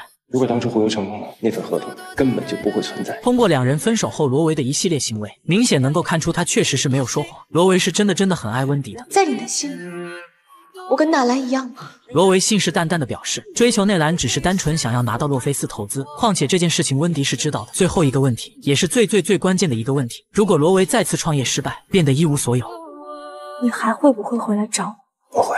这一刻，温迪哭得泣不成声。罗维就是这样一个人，常常习惯用自大来掩饰自己的自卑。如果刚刚的他能够再勇敢一次，我相信温迪也会毫不犹豫地放弃那六个亿。但现在说什么都已经晚了。只不过他在临走之前，还特地看了一眼前男友郭新年。郭新年，有没有发现温迪的声音都变甜了？而这次他见郭新年有两个目的，一个是来和他道别，还有一个就是归还郭新年送给他的大别墅和那并不属于他的百分之五的公司股份。可郭新年却表示这本来就是送给他的，自己不能要。这个现在我没用了。他紧紧地抱住郭新年，红着眼眶轻声祝福他和内兰永远幸福。说完，头也不回的就离开了魔晶公司。出门后，温迪立马就拨通了金振邦的电话。我想好了。我同意做您的基金管理人。几天后，温迪来到机场，上飞机前，他给罗维打去告别电话，说自己要去布宜诺斯艾利斯了，希望罗维不要再来找他。时间一晃，温迪和金城两人结婚了。不得不说，他才是本剧最大的赢家。小的时候，温迪经常被父母放在姥姥家，每次他不听话的时候，姥姥就吓唬他说父母不要他了。渐渐的，他就越来越没有安全感，后来他就变得越来越贪心了。温迪认为，这也许就是他一切错误的根源吧。郭新年怎么也不会想到，自己辛苦创立的公司，最后竟成了别人的垫脚石。没了梦想，没了兄弟的他，俨然对生活失去了信心。每天浑浑噩噩的守在即将倒闭的公司里，好在这时女朋友内兰及时出现，不仅帮他解散了公司员工，而且还处理了后续的一些善后问题。等一切都做完之后，他又半蹲在郭新年面前安慰他振作一点，赶紧去换套漂亮衣服，跟我去参加发布会。郭新年自然是不愿参加，因为这次发布会的两名主角都和他有着血海深仇。在奈兰的鼓励之下，郭新年最终还是参加了这次宴会。在活动现场，郭新年见到了曾经公司的几位股东，虽然心里有着说不上来的感觉，但他还是强装微笑上前与几人寒暄。你们俩去麒麟上班了吗？时隔多日，卢卡和杨洋洋已经去麒麟公司上班了，而且李奔腾还给他俩放了很长的婚假。郭新年带着风轻云淡的笑容和他们一一道别。其实他心里也并没有那么记恨几人，因为他知道，即使股东们不背叛自己，等到麒麟软件一上市，魔晶也会是死路一条。而正当他还在和几人交谈之际，卑鄙小人卧云生突然将他叫至一旁，一直想去找你，但是有些不好意思，今天正式向你道歉。道歉是应该的，毕竟他曾反反复复答应要帮助郭新年，但最后为了自己的利益却多次违背诺言，而现在尝到甜头后又跑过来道歉，或许这就是资本家的嘴脸。万万没想到，接下来他竟总结起了郭新年失败的原因，说他就是背负了太多的情感和道义，而像郭新年这样单纯固执的人，最后的结局注定是失败的。谢谢卧云先生，钱你也没投，就别在这上课。纳兰怼得太漂亮了，如果当时不是他的言而无信，或许郭新年也不会落得如此下场。很快宴会就开始了，这次活动共有三件事情要宣布，而且每一件事都和郭新年息息相关。首先说说龙少雄发布小龙手机这件事。想当初龙少雄也只是一个不起眼的程序员，但他却在魔晶最辉煌的时候，靠着抄袭魔晶发布了自己的山寨软件密聊，并且还获得了洛菲斯的巨额投资。正因为山寨软件成本低来钱快，所以龙少雄在短期内套现了大量资金，最后再利用这些钱转型研发出了现在的小龙手机。虽然小龙手机在当时已经是遥遥领先了，但不得不承认他是踩在郭新年的肩膀上才有的今天。接着再来谈谈电商大佬卧云生重出江湖这件事。想当初他突然宣布金盆洗手的原因，我们不得而知。可现在李奔腾突然将魔晶一口吃掉后，他又突然宣布要重出江湖了。从中我分析出两点原因：一是他想和李奔腾瓜分移动互联网这块大蛋糕；第二就是现在李奔腾在互联网这块领域一家独大，未来很有可能会触碰到卧云生电子商务的领地，所以他必须立马重出江湖与之抗衡。但无论是哪种原因，都逃避不了一个现实，那就是魔晶已经成了两人斗争中的炮灰。台下的郭新年心中五味杂陈，而一旁的李奔腾却忍笑不止。说话间，很快就轮到他上台了。李奔腾再次宣布了麒麟控股魔晶，并表示他现在在做一个重大升级，很快这款软件将会以一个全新的面貌跟世人见面，甚至会震惊整个世界。下面我想请魔晶的父亲郭新年上台。他是今天我们移动互联网最值得尊敬的英雄。郭新年是一个孤独的英雄，他是天真的、热情的，怀抱赤子之心的理想主义天才。他和我们大多数人一样，都曾怀揣过梦想，历尽千辛万苦、万般磨难，却还坚持初心。可奈何社会现实总是如此的不堪。很快，内兰就带着郭新年来到恋人酒吧。我谈恋爱的人才能来。郭新年内心一阵小激动，可当他转头听到下面球场里排山倒海的欢呼声时，一种怅然所失的感觉突然就涌上了心头。他感慨球迷们永远也只会为胜利者欢呼，就好比自己一脚踹开了移动互联网这扇大门，但站在舞台中央被所有人吹捧和呐喊的却不是自己。为此，内兰连忙转移话题，喃喃地重复着郭新年今天在发布会上朗诵的那首诗，其中有一句是所有的终点都是新的起点，所以内兰很想知道郭新年新的起点会是什么。犹豫片刻后，郭新年深情地望着内兰，缓缓说道：“魔晶的程序自己已经全部写完了，接下来他这辈子只会再写一个程序，那就是内兰。你会是我这辈子写过最美的程序。你这算是表白吗？”郭新年毫不犹豫地表示，如果他现在身上有一枚戒指的话，那他就直接求婚了。在这一刻，两人压抑已久的感情终于爆发，就像拖闸的洪水一般倾泻而出。郭新年和内兰甜蜜的拥吻在一起，一阵缠绵过后，郭新年手拉着手送内兰回家。话说郭新年这小子艳福不浅，离婚后不仅和温迪有过一段故事，现在又和内兰搞在了一起，这样的感觉是前所未有的。两人都到家门口了，还有些依依不舍。郭新年想明白了，虽然他失去了魔晶，但至少现在他还有内兰，所以并没有什么好遗憾的。这时内兰突然很调皮的询问郭新年，如果让他在魔晶和爱情之间做选择，他会怎么办？永远不要让我做这样的选择，因为魔晶是咱们俩共同的孩子。聊着聊着，气氛就来了。一个小时都还没过，郭新年这小子竟然又忍不住了。他刚想凑上去亲吻丹兰，阿姨，啊啊啊阿姨好，并质问他刚刚提到的孩子到底是谁的。郭新年一脸尴尬，不知该如何回答，于是立马找了个借口匆匆离开了。回到家里，那国正因为两人突然谈恋爱，这事有些不悦。他一脸严肃地告诉那兰，虽然自己并不干涉他和谁谈恋爱，但是对方是做什么的，还有以前干过什么都必须如实汇报。同时，他还告诉那兰京城已经被释放出来，反贪局也已经介入了。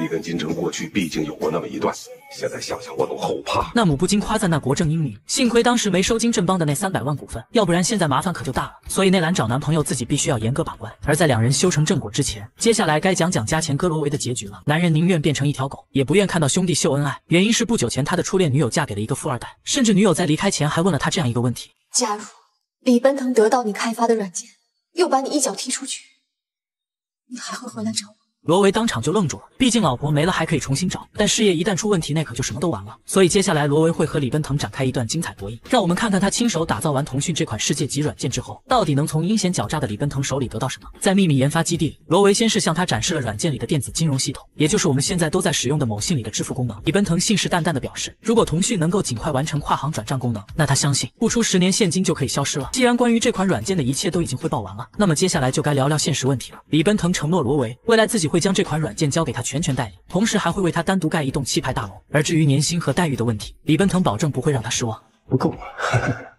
我听说你准备在这款软件彻底做出来之后，一脚把我踢开。李奔腾认为在合作前他已经把话说得很清楚，如果罗维还有这样的疑虑，那他现在就可以打包离开了。可话又说回来，罗维事实上已经将这款软件全部做完了，未来李奔腾完全可以请大把比他更好的工程师来继续做升级和维护。理论上罗维是可以被替代的，所以他现在需要的不是李奔腾画的大饼，而是实实在在的公司股份。原以为李奔腾会承诺点什么，谁料他竟再次画起了大饼，说当年自己和兄弟一起创业十年才打拼下麒麟，而现在罗维所研发的腾讯将会带领麒麟进入下一个十年、五十年甚至一百年，所以他认为罗维需要的不是安安全感，而是跟着他一起看同一个方向，保持同一高度，做同一个梦想。那么在下一个十年或者二十年之后，我们能看到一样的风景，我们就会是亲人。那个时候你会知道，我李奔腾从来不亏待兄弟。也许李奔腾是发自肺腑的，但在兑现之前说再多都是虚的。罗维强颜欢笑，心里百感交集，于是转头就来到魔晶公司，找到了这个被他亲手打败的好兄弟郭新年。两个人，一条狗，一张桌子，一箱酒。而两兄弟接下来的谈话也是相当有意思。郭新年申请再喝最后一杯，因为他要恭喜罗维终于成功了。可罗维听后却感到特别不是滋味，后悔当初没有选择和郭新年合作。因为这款软件，即使他姓李，咱们俩都没。然而郭新年却认为两人都没输，虽然他失去了魔晶，但却得到了世界上最好的安娇拉贝贝。罗维扎心啊！但凡郭新年多吃几颗花生米，也不会当他面说这样的话。你未来会借着麒麟的平台，成为移动互联网最大的新贵。郭新年很清楚自己已经回不来了，但他却一直在鼓励罗维。而为了彻底消除罗维对自己的愧疚，郭新年竟再次强调了那兰就是上帝送给他最好的礼物。在这一刻，兄弟俩的隔阂也都烟消云散了。世界级软件腾讯终于诞生了。然而，作为老板的李奔腾不但没有选择上台抢风头，反而还将这次发布会的演讲机会给到了罗维。刚一上来，罗维就向所有人展示了腾讯的开机动画。这个动画相信大家再熟悉不过了。开机动画上有一个大地球，地球的右下角站着一个小人，小人代表罗维，而罗维目光处在的布宜诺斯艾利斯，就是他的初恋女友温迪目前所在的地方。罗维将自己的感情全部倾注到了腾讯这款软件里，为此他也希望大家能够通过腾讯表达自己，去大胆发现和自己有着相同心绪的人。很快，罗维就将腾讯介绍完了，而接下来他要特别感谢一个人，这个人就是魔晶创始人郭新年。罗维当着所有人的面，直言不讳地宣布腾讯是在魔晶的基础上创造出来的。一时间，会场中所有的灯光都汇聚在郭新年身上，紧接着现场就响起了排山倒海般的掌声。在外人看来，郭新年只不过将魔晶做完后又用高价卖给了李奔腾，但他们不知道的是，在这中间真实发生了一场十分无情而又残酷的没有硝烟的战争。或许在这一刻，郭新年是伟大的，可在十年又或是二十年之后，谁又会记得他这个垫脚石呢？就像罗威曾经说过，腾讯这款软件永远只会姓李。李奔腾的李。发布会结束后，郭新年和李奔腾两人洋酒配花生，中西结合。这一刻，郭新年彻底释怀了，他坦率地说自己把魔晶交给李奔腾是正确的。酒过三巡后，李奔腾诚挚地向郭新年发出邀请，来麒麟吧。对于郭新年来说，打工是不可能打工的。这时，李奔腾就故意刺激郭新年，说他很羡慕罗维能够站在台上发言，只可惜他永远也上不去了，因为他没有像郭新年一样的创造力了。但他相信郭新年迟早有一天能够享受这种万众瞩目的感觉。算了，郭新年还是清醒的，他知道移动互联网已经被李奔腾一家独大，所以即使自己再强，也只能做一个配角。我终于可以不用担心害怕了。我认为这还是李奔腾的激将法，只是郭新年没有上钩罢了。最后，两人把酒言欢，喝得烂醉。李奔腾摇晃着将郭新年搀扶到了纳兰家门口。他今天受了点打击，喝的有点多，麻烦你照顾他。万万没想到的是，罗维竟放弃了所有的名与利，独自一人踏上追求初恋温迪的旅程。在奈兰的闺房内，喝得烂醉的郭新年躺在床上耍酒疯，但我严重怀疑他是想借着醉酒对奈兰图谋不轨，因为他当着奈兰的面，竟一字不差的回忆出了两人梦幻般的情感经历。当时的奈兰压根就不认识郭新年，可郭新年却仍旧热情肆意的做着自我介绍，并且还很激动的给他描述了西藏的美景。虽然一开始的奈兰有些莫名其妙，但渐渐的就感觉他这人不仅搞笑，而且还傻得可爱。好巧不巧，奈兰也是一个十分热爱旅游的人，每每当郭新年描述起西藏的美景时，他都会有一种身临其境的感觉，而也就是这种神秘而又触摸不到的感觉，让他越发对郭新年产生了兴趣。很快就到了两人第三次联系，而这一次也是两人感情迅速升温最关键的一个因素。然后那天我要一个人骑自行车去死亡谷，把你吓坏了。最终郭新年还是挑战了死亡之谷，可在经过一片乱石区时，眼前突然就出现了好几只凶猛的饿狼，吓得郭新年绝望的狂呼救命。而正当他以为自己必死无疑时，一个名叫多吉的西藏大叔突然出现，并用一段歌词成功劝退了狼群。获救后的郭新年夜宿在了多吉大叔家里，当晚老人给他讲了很多关于信道的知识，郭新年受益匪浅。次日，他跪谢了多吉大叔的救命之恩后，匆匆回到营地，打开电脑就看到了内兰发给他的一百条语音留言。还记得你跟我说什么？郭新年是不是死？郭新年一脸幸福的望着内兰，不仅因为内兰在事业上给了他很大帮助，而且对待感情也是一心一意。隔天一大早，郭新年羞愧的为昨晚醉酒后的行为向内兰道歉。怎么道歉？吃完早饭。带我去西藏，来到离天最近的西藏，就仿佛进入了另一个世界。这里神秘的云雾透过雪山缝隙，形成如同仙境般的景象，让人陶醉其中。这些高耸入云的雪山与蓝天相映成趣，又会给人一种壮丽而又平静的感觉。时隔两年，郭新年带着内兰再次来到多吉大叔的石头屋，可当他推开门后，却发现屋里早已是空无一人。郭新年有些怅然所失，因为那时候的他已经彻底对生活失去了信心。而也就是多吉大叔的深深教诲，才让他鼓起勇气创造出了魔晶这款世界级的软件。纳兰看出了郭新年情绪低落，于是立马走上前，一把搂住他的肩膀，两人的感。情就如同创业一般，郭新年很欣赏奈兰的才华，而奈兰也懂得欣赏郭新年的领导能力。两人在不断的合作中加深了了解和信任，互相鼓励，互相陪伴，互相理解，一起克服了创业和情感生活当中的种种困难。很快，两人就来到了拉措拉姆的一处湖边。听藏人说，在这里许愿特别灵，但是人的一生只能许一次。郭新年在两年前就已经许过了。纳兰很好奇，他当时许了一个什么愿？如果我把魔晶做成了，要是还能跟你在一起，那就完美了。纳兰微微一笑，站在碧波荡漾的拉措拉姆湖边，面朝着远方气势磅礴的雪山虔诚许愿。而郭新年就在一旁静静的看着。等那兰许愿结束后，郭新年又迫不及待走到面前询问他许什么愿了？我希望你还能做出一款比魔晶更棒的软件，杀回去。郭新年心头涌过一丝暖意，他没想到那兰竟将仅有的一次许愿机会献给了自己。这样的女人哪能让人不爱？最后的最后，郭新年情不自禁地走上前，与奈兰甜蜜地拥吻在了一起。